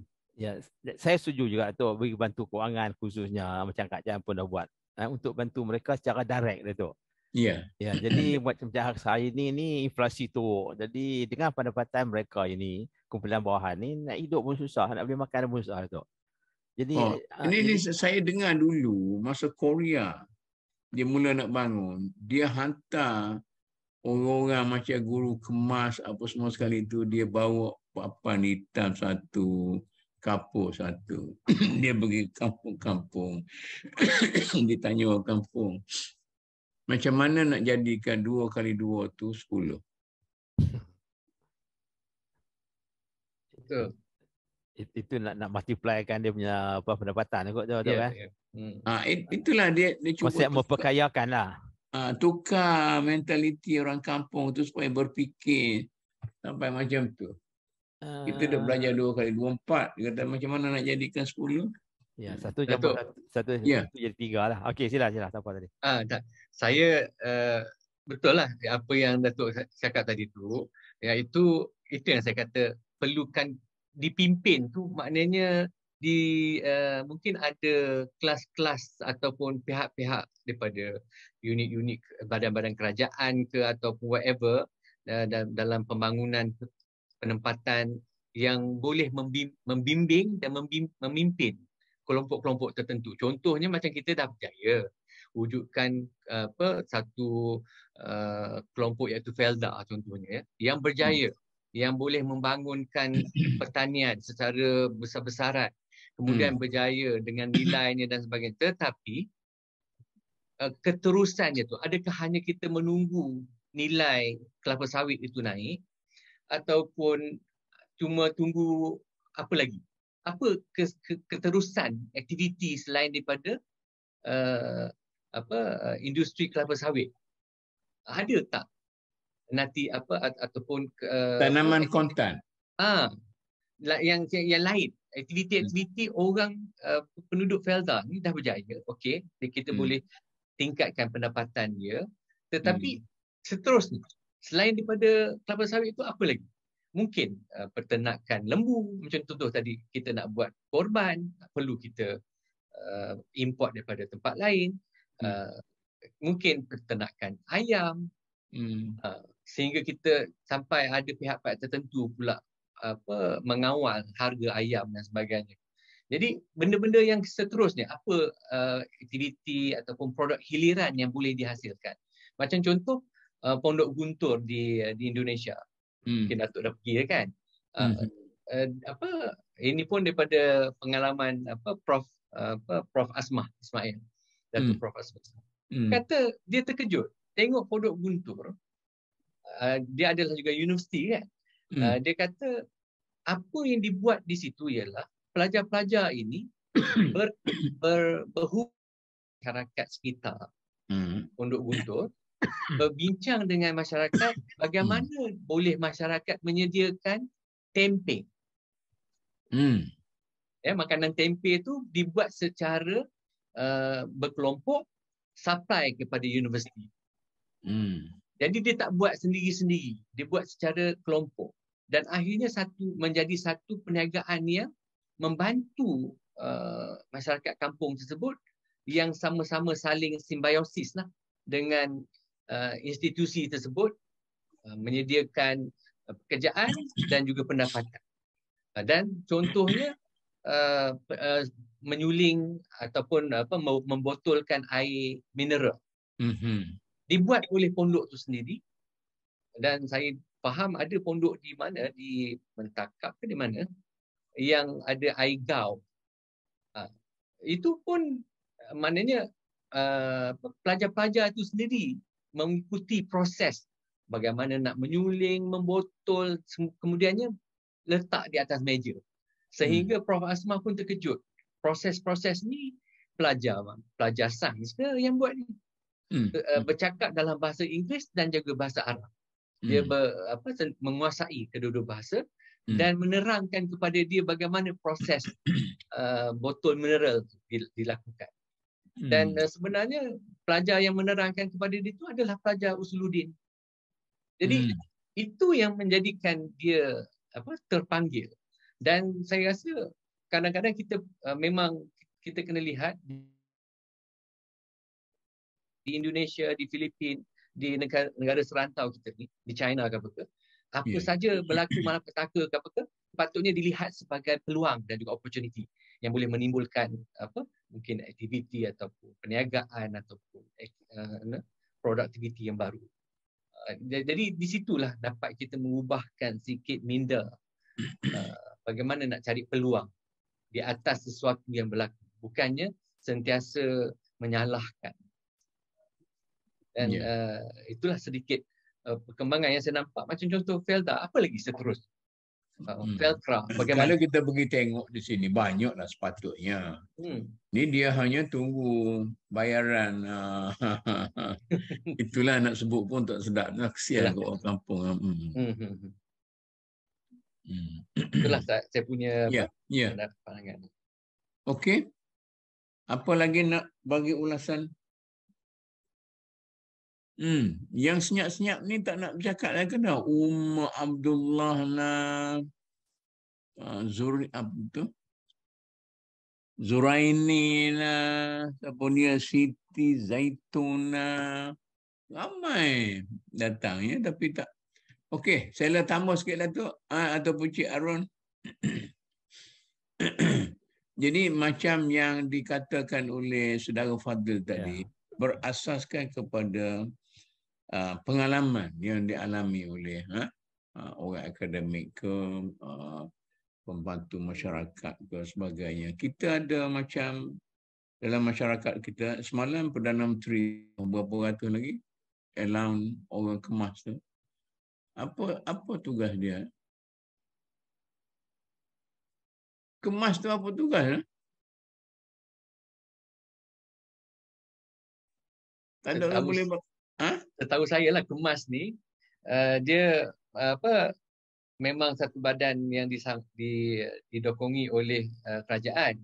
Hmm. Dia memberikan apa latihan-latihan kepada masyarakat uh, untuk membuatkan produk-produk tertentu di kawasan-kawasan penempatan tersebut.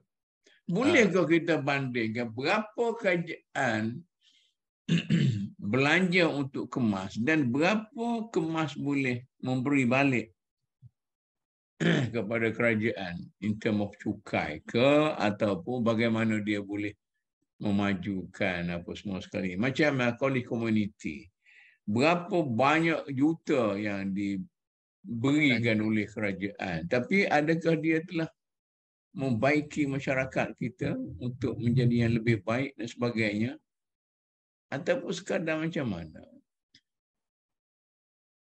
Uh, itulah macam yang Datuk kata tadi.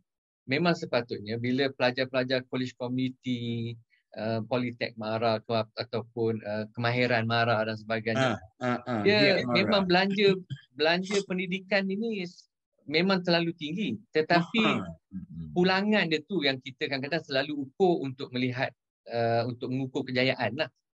Tetapi Jadi sebenarnya, katalah kalau kita bandingkan dengan budak-budak di Bogor tadi. Uh, dia pandai menyuling air walaupun hmm. dia belajar usuluddin. Ya. Sehingga dia boleh menerangkan proses sains uh, sehingga dihasilkan uh, apa package botol itu. Uh, itu yang buatkan itu yang saya nampak kalau kita buat lawatan macam ni, kalau ikutkan pegawai-pegawai kerajaan kita ni, semua negara dah pernah dilawati. hmm. uh, pimpinan-pimpinan kita ni dah banyak tempat pergi. Tapi apa yang dibawa pulang yang dipelajari? Apa boleh yang saya tanya yang sensitif sikit? Boleh boleh. Bila balik Prasma awak apa?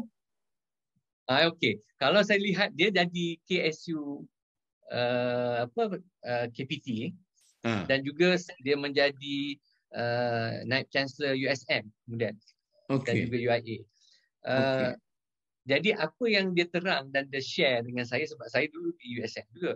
Yeah. Uh, jadi dia nampak bahawa uh, apa yang itu yang nak tukarkan minda pelajar-pelajar tu supaya lebih kepada uh, keusahawanan. Dan hmm. uh, universiti-universiti sekarang ni pun wujudkan unit keusahawanan. Hmm. Tetapi apa yang saya lihat di sini ialah peluang-peluang keusahawanan tu sekarang ni tak tahulah bukanlah kita nak salahkan covid ya tetapi mm-hmm. terhenti buat buat buat masa masa kini lah mm. tetapi uh, kalau sebelum covid uh, usaha-usaha untuk meningkatkan ke, apa nilai-nilai kesawanan di kalangan dalam kalangan uh, pelajar ni mm. ada meningkat uh, oh. ada yang boleh buat perniagaan dia sendiri ada mm. yang hmm. menyediakan servis-servis untuk contohnya uh, tuition ada yang uh, apa buat lukisan-lukisan apa plan bangunan. Hmm. Uh, ada yang apa mula menjual online dan sebagainya, insurance. Jadi uh, nilai tu ada cuma mungkin saya tak pasti kenapa sekarang ni masih ter apa tersekat sekejap selepas covid ni. Uh, ya. Yeah. Sekat sikit lah. Ha, itulah maknanya walaupun COVID datang dan menyebabkan kita banyak inisiatif. Tapi hmm. bila COVID itu pergi, yeah. kita balik kepada takut lama. Gitu kan? Hmm. Itu ha, yang... Itu masalah. Kata, uh, kesinambungan tindakan kita tu tersekat disebabkan oleh hmm. uh, sepatutnya mungkin dia cari opportunity nak survive. Yalah. Macam mana nak survive? Uh, saya pun rasa bersandah juga. Mula-mula COVID dulu, saya bincang dengan adik saya ni, almarhum belah ni. Dengan kami, kita kita nak tengok bila ada ni, pandemik ni, kita nak ada berlaku perubahan ke arah budaya yang lebih maju. Eh? Yeah. Tak boleh. Lepas COVID ni, dia balik kepada keadaan yang asal yeah. juga. Yeah. Okey, Datuk. Tolong bagi Ah, kita minta dua orang ni Datuk dengan Cik apa tu Cik Arun ni simpulkan ya. perbincangan kita. Ha? Saudara Fadil telah memberi banyak data-data maklumat dan ulasan yang agak praktikal. Cuba uh, bagi kata-kata akhir Datuk kepada Cik Arun. Okey tak apa saya dulu. Ah, Okey, uh, Cik Arun.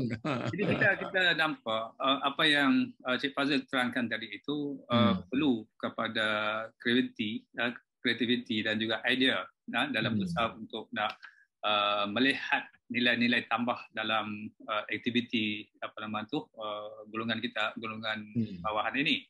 Hmm. Cuma yang tersekat itu iaitu bagaimana kita nak membina satu pemikiran baru kepada golongan katakan bawahan ini uh, untuk nak melihat ataupun menjadikan satu falsafah yang berasaskan kepada nilai-nilai agama yeah. yang akan menjadikan mereka itu lebih uh, bermotivasi hmm. untuk melihat dari segi worldview uh, mereka mesti bekerja ya tapi kalau masyarakat di negara-negara maju yang Jepun dan sebagainya itu telah menjadi budaya mereka nah, cuma di sini ialah kita nak melihat bagaimana uh, golongan ini kita bina satu pemikiran baru berdasarkan agama ya bukan setakat hmm. pertumbuhan untuk nak uh, memperkuatkan apa namanya bahagian spiritual sahaja tetapi ini juga penting ya, untuk membina kekuatan uh, jasmani ke, uh, material dalam uh, kehidupan kita hari-harian ini. Hmm. Hmm. Itu Datuk. Datuk. Hmm. Terima kasih Cik Arun. Ha, Datuk. Ya. Ya Datuk, saya nak pun uh, balik kepada tajuk Datuk nak kesungguhan ya Datuk eh. Hmm. Okey. Dan juga segi kemajuan tadi kita sebutnya saya nak fokus pada golongan bawah lagi lah. Atas saya tak mau tengok sangat. Jadi hmm. bawah B40 ni yang mereka susah ni kita dah bincang banyak tadi apa mereka perlu lakukan. Yeah. Kita sebut pasal entrepreneurship ya buat bisnes dan sebagainya. Hmm. Ya, jadi bagi saya tu entrepreneurship tu bukan begitu mudah itu kan. Eh, untuk berniaga kecil-kecil boleh lah kita buka store tepi rumah tu itulah pendapatan dekat hmm. itu aja jadi hmm. nak jadi apa entrepreneurship bertaraf korporat tu memang saya ingat kumpulan hmm. B40 ni minta maaf cakap hmm. lah eh, kita perlu bimbingan yang tertentu lah untuk bagi mereka yeah. khususnya beri mereka satu apa kepandaian bagi mereka skill dan hmm. juga segi ilmu lain lah Yeah. Ya. Jadi jadi untuk untuk kumpulan bawahan ni untuk bertingkatkan kemajuan dari segi sosioekonomi mereka, ha, saya rasa kita memerlukan bantuan kerajaan. Ya, tak semesti bagi subsidi. Hmm. Ha, hmm. Contohnya untuk banyakkan Melayu saya lihat ni peringkat bawah ni, mereka ni bukan entrepreneurship punya eh, eh, apa ni semangat. Hmm. Dan jiwa mereka tidak. ha, mereka bukan begitu. Jadi apa kita boleh buat? Kak Jam boleh buat jelah kita secara besaran dan kita ambil mereka sebagai pekerja peringkat awal. So ada hmm. konsep hmm. tadi macam kita ada hmm. apa ada kan macam persatuan sebagainya. Konsep hmm. sedemikianlah. Eh? Hmm. Ini mungkin apa mungkin pengkaran komunis dulu kot ya mana kerajaan play the role in the economic development kan. Hmm. Tapi hmm. bagi saya hmm. bukan untuk seluruh negara untuk untuk peringkat bawah ni saja. Hmm. Hmm. Ya macamnya hmm. macam kita nak produce satu barang secara banyak aspek komersial sebagainya. Jadi kita jangan harap individu. Jadi kita usahakan misalnya Mara buat satu perkelagan besar di satu tempat, di satu kawasan luar bandar. Mereka di situ. Jadi bawakan mereka bekerja dulu di situ. Bagi bagi kita jadi berapa pengajian dulu. Jangan kemudian jadi, sesudah tu barulah ya ya. Daripada yang kita ambil itu mungkin mungkin separuh ke berapa persen ke yang yang akan melihat di segi entrepreneurship. Jadi mereka tu kita kita biarkan mereka untuk usaha sendiri. Hmm. Jadi ini untuk beri continuity kepada kumpulan B40 ni ya, khususnya kalau mereka yang telah berumur yang tidak perlu pergi tak boleh pergi ke universiti lagi lah hmm. ya. Hmm. itu satu hmm. peringkat. Dan juga bagi meningkatkan taraf kehidupan an, apa anak-anak mereka ha, saya saya percaya baliklah Datuk kita beri mereka anak mereka ni pelajaran. Bantulah hmm. mereka apa cara pun kerajaan seperti mana kerajaan laku pada, pada tahun sebelum bah, tahun hmm. tahun 70-an hmm. dulu dan 70-an hmm. ya kita hmm. wajib bantu mereka anak-anak mereka supaya mereka keluar daripada kelompok apa ni sosioekonomi yang yang yang rendah ini hmm. ha, jadilah itu saya rasa jadi dari segi kesungguhan tu saya tak nak petikai memang ada kesungguhan yang bukan hmm. malas lah tak sungguh maksudnya malas eh, kalau bersungguh-sungguh rajin ya kita ada cuma belum berjaya belum berjaya. Untuk kumpulan khususnya ada kumpulan B40 hmm. ni. Hmm. Jangan hmm. kita conclude hmm. mereka malas. Kita perlu bantu mereka. Dan kerajaan perlu main peranan khasnya untuk orang Melayu Islam. Itu ada. Hmm. Okey Dr. Fadil. Uh, cuba bagi sikitlah simpulan lah uh, kita. Uh, dah sesudah uh, 60 tahun kita terpaksa berbincang hal ini lagi. Yeah. Uh, pertamanya saya nak menyatakan bahawa masyarakat kita memang masih memerlukan pimpinan dan pimpinan ini perlu dibuat dalam bentuk uh, persatuan ataupun kesatuan. Tak hmm. boleh dibiar sendiri-sendiri nak maju dia susah. Biar dia bekerja dalam satu satu kelompok yang betul-betul mau berjaya dalam bidang-bidang tertentu. Yeah. Contohnya kalau kata kita kerajaan menyediakan prasarana uh, dan juga peruntukan untuk pembangunan pertanian ataupun perindustrian SME SMI buat betul-betul. Jadi biarlah uh, uh, anak-anak muda ini duduk dalam prasana yang kondusif yang bukanlah lekeh sangat macam apa rumah-rumah kongsi tetapi betul-betul satu penempatan yang boleh memajukan mereka melakukan sesuatu aktiviti. Kalau mereka minat dalam industri uh, pakaian, design, uh, dalam construction, uh, dalam apa apa food and beverage dan sebagainya, kita sediakan prasarana tersebut dan sebenarnya kerajaan tanah dan tapak ni masih ada. Yeah. Jadi kalau kata dia buat tak semestinya mesti tempat itu sentiasa uh, apa 24 jam 365 hari itu penuh. Kalau perlu ada perubahan tempat itu masih dipegang oleh kerajaan. Sebab kita tak boleh uh, memandang satu-satu penempatan itu kosong maknanya tempat itu tidak berjaya. Kemudian diambil alih oleh oleh orang-orang tertentu sehingga yeah. fungsi tempat itu dah uh, lari. Sebab hmm. contohnya macam di UK, rumah-rumah rumah-rumah council uh, yeah. disediakan untuk untuk uh, penempatan uh, orang-orang golongan miskin. Dia kalau tak penuh pun dia tak roboh kan. Dia yeah. dia maintain dan dia ting, uh, dia pegang. uh, dan dia tak jual pula kepada sembarangan. Uh, itu hmm. yang saya kata open market ni bukanlah kita tak setuju tetapi ada perkara-perkara tertentu yang basic necessities uh, asasi perlu kita kawal oleh kerajaan. Uh, dan uh, satu lagi ialah tentang nukleus.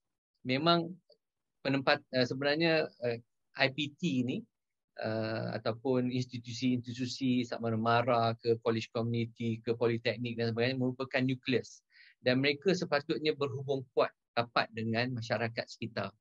Uh, dan uh, dia perlu ada simbiosis lah antara masyarakat dengan nukleus itu supaya hmm. kan apa pelajar-pelajar ini bila dia keluar dia tidak terasa asing atau dia terasa uh, lebih tinggi daripada masyarakat tetapi sebaliknya dia perlu menyumbang untuk pembangunan masyarakat. Nah, itulah. Okey, terima kasih. Dan, dan satu lagi, yeah. kita jangan lupa bahawa Allah itu maha kaya. Jadi mintalah kepada Allah. Uh, semua hmm. sebab kadang-kadang kita lupa nak minta kepada Allah yang maha hmm. kaya itu. Ya, ya. Okey. Terima kasih terutama sekali kepada Cik Arun, Datuk dan uh, Dr. Fatih kerana telah bincang dengan cukup serius uh, perbincangan kita ini dan kita harap uh, siapa pun yang akan menang dalam pilihan raya nanti uh, yang akan jadi kerajaan supaya lebih serius, lebih mempunyai strategi yang yang yang baik untuk membimbing uh, jangan-jangan lagi lah supaya supaya tidak lagi terlewat eh, bangsa kita untuk naik ke depan. Uh, mungkin uh, kita tidaklah suka untuk mem, uh, menggunakan metod untuk menyakat orang lain daripada maju ke depan. Kita sepatutnya memajukan diri kita sendiri dan uh, sekali lagi saya mengucapkan banyak terima kasih dan insyaAllah uh, minggu depan kita sambung lagi perbincangan kita tak payah jemu-jemu lah uh, datang uh, Cik Arun dengan Datuk ni uh, Datuk Nodeh ni dah jadi macam regular uh, dengan saya okey lah uh, terima kasih banyak lah harap orang lain lagi banyak yang akan datang berbincang begini dan bukan untuk mendengar saja dalam dalam ruangan kita ini. Akhir sekali saya ucapkan wabillah taufik wal hidayah. Wassalamualaikum warahmatullahi wabarakatuh.